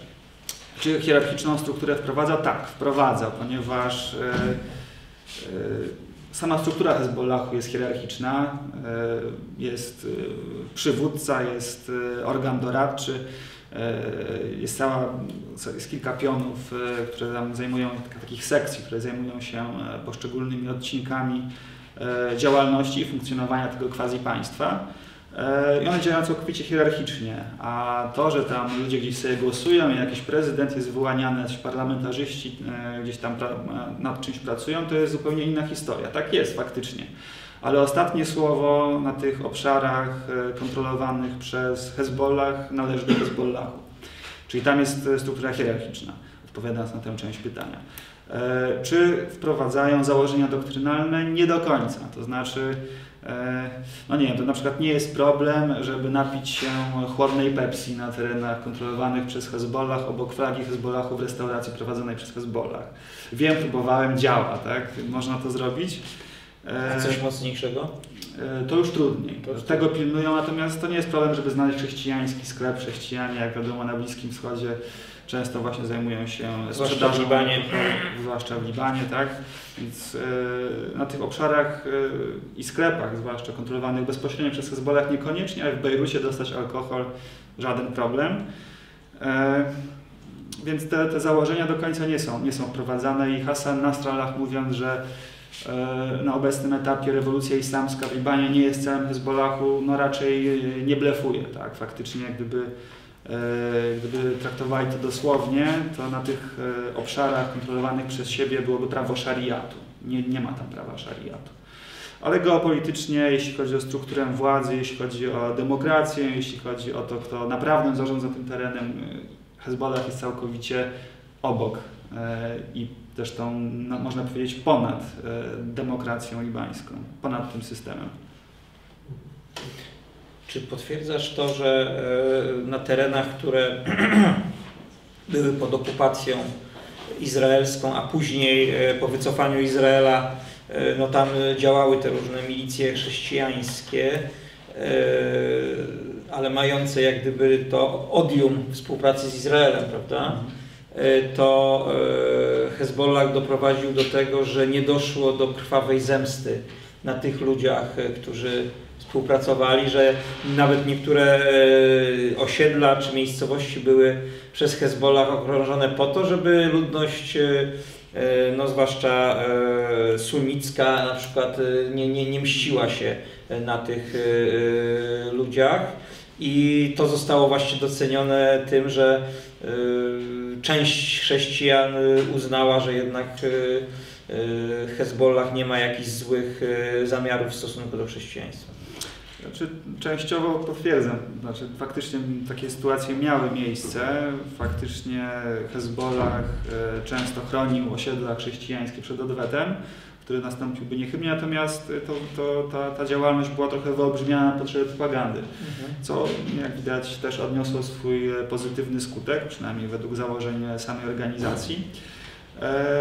Ale miało miejsce, to masz rację. Jest to o tyle wa ważne i warte podkreślenia, że w drugą stronę tak nie działało podczas wojny. Cała ta wojna pokazała coś odwrotnego, to znaczy falangi libańskie, gdy dać im szansę do zmasakrowania miejscowej sunnickiej czy szyickiej ludności, czy właśnie jakiegoś obozu uchodźców e, palestyńskich, jeśli dać im okazję pod kuratorem Izraela, tak jak miało to miejsce, słynna masakra. Chętnie korzystały. Chętnie korzystały, tak, i, i dopuszczały się strasznych rzeczy, natomiast Hezbollah pokazał, że e, właśnie ta, ta działalność, ta, ta, ta część jego doktryny, jeśli chodzi o sprawiedliwość społeczną i sprawiedliwość dziejową, e, jest traktowana przez nich zupełnie serio i faktycznie również wystąpili w obronie, żeby w drugą stronę nie było tego rodzaju e, odwetów. Mhm. Jeszcze chciałem spytać o samego e, Nasrallaha. To znaczy, z jednej strony no, przywódca religijny, ale teraz coraz bardziej chyba też patriota po prostu libański e, i podkreślający te swoje zaangażowanie w obronę Libanu.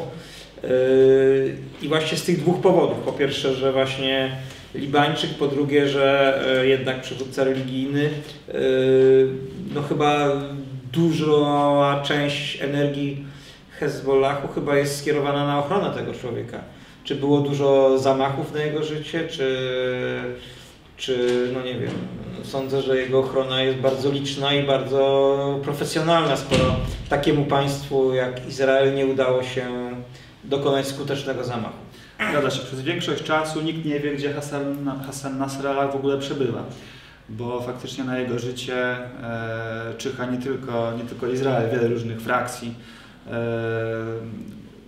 każdej chwili tak naprawdę można spodziewać się przeprowadzenia na niego zamachu, bo Izrael zresztą e, swobodnie wlatuje dronami czy, czy, innymi, e, czy innym sprzętem wojskowym w przestrzeń powietrzną, czy to Libanu, czy, czy Syrii nawet przeprowadzając zamachy na członków Hezbollahu i innych organizacji, czy, czy właśnie infrastrukturę wojskową, czy, czy nawet e, członków reżimu Asada. E, skutecznie przeprowadza ataki, w zasadzie zabija ich kiedy chce e, i trudno się przed tym chronić, przy czym wydaje mi się, że zabicie Nasrallaha jednak musiałoby wywołać kolejną spiralę odwetów i Izrael obecnie nie jest tym zainteresowany do końca.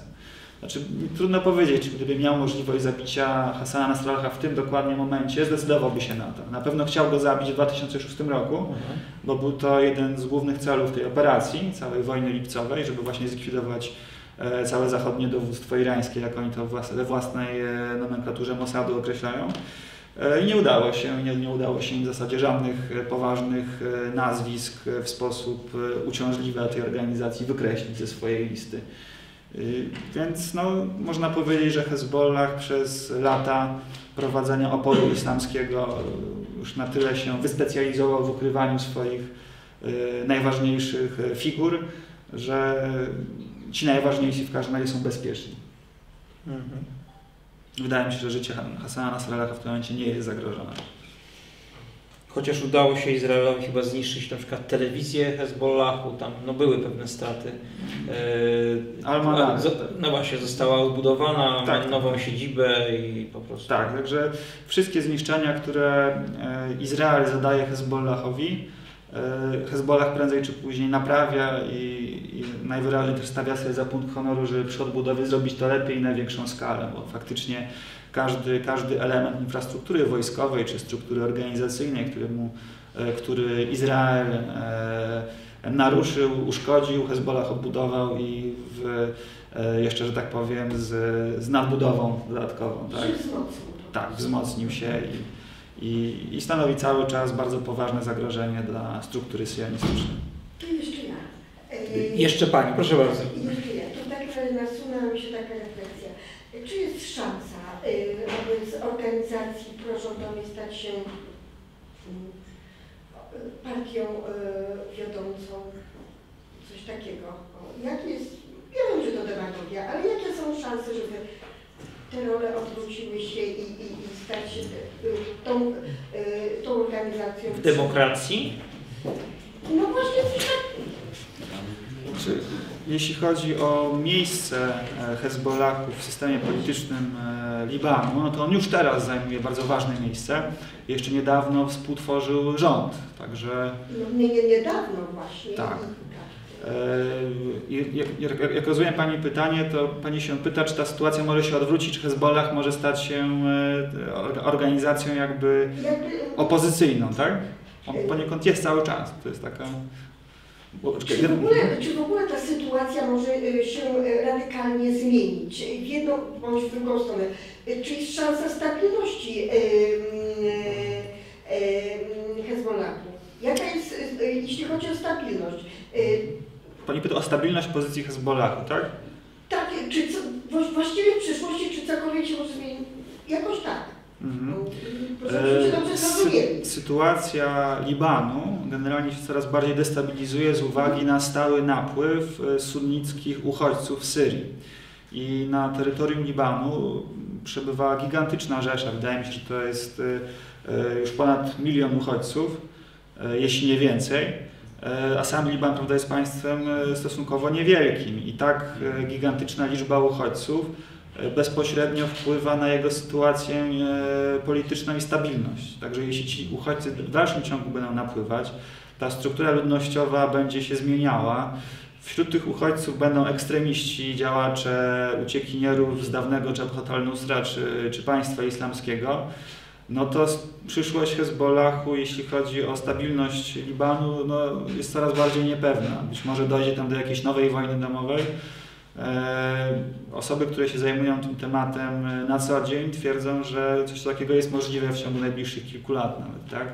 Że mm, Liban nigdy, te rany zrodzone podczas wojny domowej nigdy nie, nie miały okazji się w 100% zagoić, a mm, sytuacja w Syrii i napływ uchodźców może być katalizatorem kolejnego konfliktu i to faktycznie może się w najbliższych latach przydarzyć. Proszę bardzo. Właśnie, bo miałeś wspomnieć o anegdocie z podróży do Libanu i chyba jakoś to umknęło. Anegdoty na koniec. Na, a skoro kończymy, to niech będzie anegdota. Tak, kończymy już. No to zobaczymy jeszcze, no ale... Ja opowiem taką sytuację, jak faktycznie musieliśmy e, tłumaczyć się trochę e, z uwagi na to, że organizacja, którą tam reprezentowaliśmy w Libanie, to właśnie nazywa się Falanga, tak jak e, Falanga Libańska, e, e, która e, również jeśli chodzi o stylistykę, jakieś tam, prawda, jednolite umundurowanie, takie bardziej ciemne niż jasne i tak dalej, prawda, e, stosuje. No i faktycznie zd- zdarzyło się tak, że no, raz musiałem komuś tłumaczyć. To oczywiście nie, nie była jakaś sytuacja niebezpieczna czy coś w tym, w tym rodzaju. ale raczej e, no, zdziwienie było, co tu falanga robi w dzielnicy Hezbollahu, prawda? I, dlaczego jeszcze pochodzi, pochodzi z Polski, co to za ludzie. Więc trzeba było faktycznie to, to, wszystko, to wszystko jakoś, jakoś wytłumaczyć, no i, no i nie, było, nie było z tym żadnych większych problemów już na szczęście. Gdyby było nieszczęście, to byśmy dzisiaj nie rozmawiali. Tak, wydaje mi się, że jakby Hezbollah wie kto przyjeżdża jakby na jego terytorium, bo y, może też nie wybrzmiało dostatecznie dobrze podczas y, tego wystąpienia, no ale Hezbollah ma również cały swój pion wywiadowczy i nic co się y, dzieje, wszystko co się dzieje na, na terytoriach kontrolowanych przez Hezbollah, kto przyjeżdża, kto wyjeżdża, e, jest e, pod ścisłą e, kontrolą jego komórek wywiadowczych, co jest e, dość, e, dość oczywistym podejściem w sytuacji permanentnego zagrożenia infiltracją e, ze strony wielu wrogów, zarówno w wewnętrznej polityce e, libańskiej, jak i wrogów zewnętrznych, czy to syjonistów, Amerykanów. Wiadomo, że w Libanie działają chyba wszyscy, wywiady wszystkich mocarstw świata, więc e, nie byliśmy tam na pewno mm, w sposób przypadkowy i ta, ta rozmowa miała raczej taki taki wymiar, powiedziałbym, formalny tylko, tak? Ktoś z ciekawości zapytał. Gdybyśmy wytłumaczyli, o co, o co chodzi w doktrynie falangizmu i czym falanga, polska falanga różni się od e, falangi libańskiej. Jak widać, faktycznie negocjacje się zakończyły sukcesem. Jasne. Czy są jeszcze jakieś głosy, pytania? Jeżeli nie, to chciałbym jeszcze powiedzieć coś o książkach. E, i Zachęcam, jest e, ten zbiór e, różnych artykułów e, dotyczących doktryny, idei i konflikty zbrojne w publicystyce X portalu, czyli Świat w ogniu wojny. Zachęcamy. E, Jest, jest e, do nabycia w sumie jedno z nowszych e, wydawnictw. Zresztą robiliśmy promocję tego, tej, e, go tomu. E, Są e, wydawnictwa związane z historią Polski. Oczywiście polecamy Radosława Patlewicza, e, Historia polityczna Polski, nowe spojrzenie. Jest film Grzegorza Brauna, Luter i rewolucja protestancka. Jeżeli ktoś nie był w kinie, to zachęcamy. Jeżeli, jeżeli był, a chce mieć w domu, to też. No nasz poprzedni tutaj sprzed tygodnia prelegent, e, pułkownik służb zarówno PRL-u, jak i e, III RP Piotr Wroński. Jest ta książka Spowiedź życia, ale też dwie inne książki, jeżeli ktoś się tym interesuje. A także e, polecam e, serdecznie e, kalendarz na przyszły rok e, wydawnictwa Freedom i dwumiesięcznika Magna Polonia. To są takie wydawnictwa, o których chciałem dzisiaj Państwu e, powiedzieć. Co do naszych najbliższych spotkań, to pojutrze we czwartek, ostatnie przed świętami e, spotkanie. E,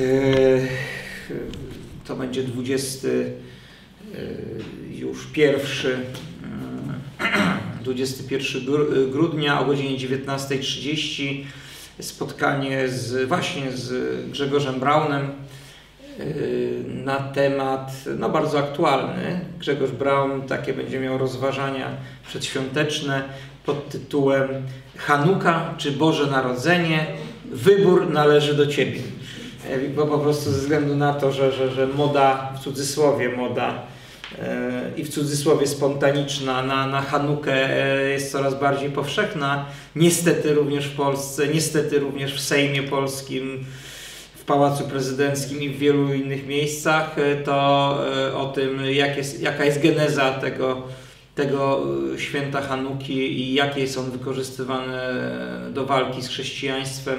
E, Na ten temat będzie mówił Grzegorz Braun o 19.30 we czwartek. Dziękuję bardzo za spotkanie.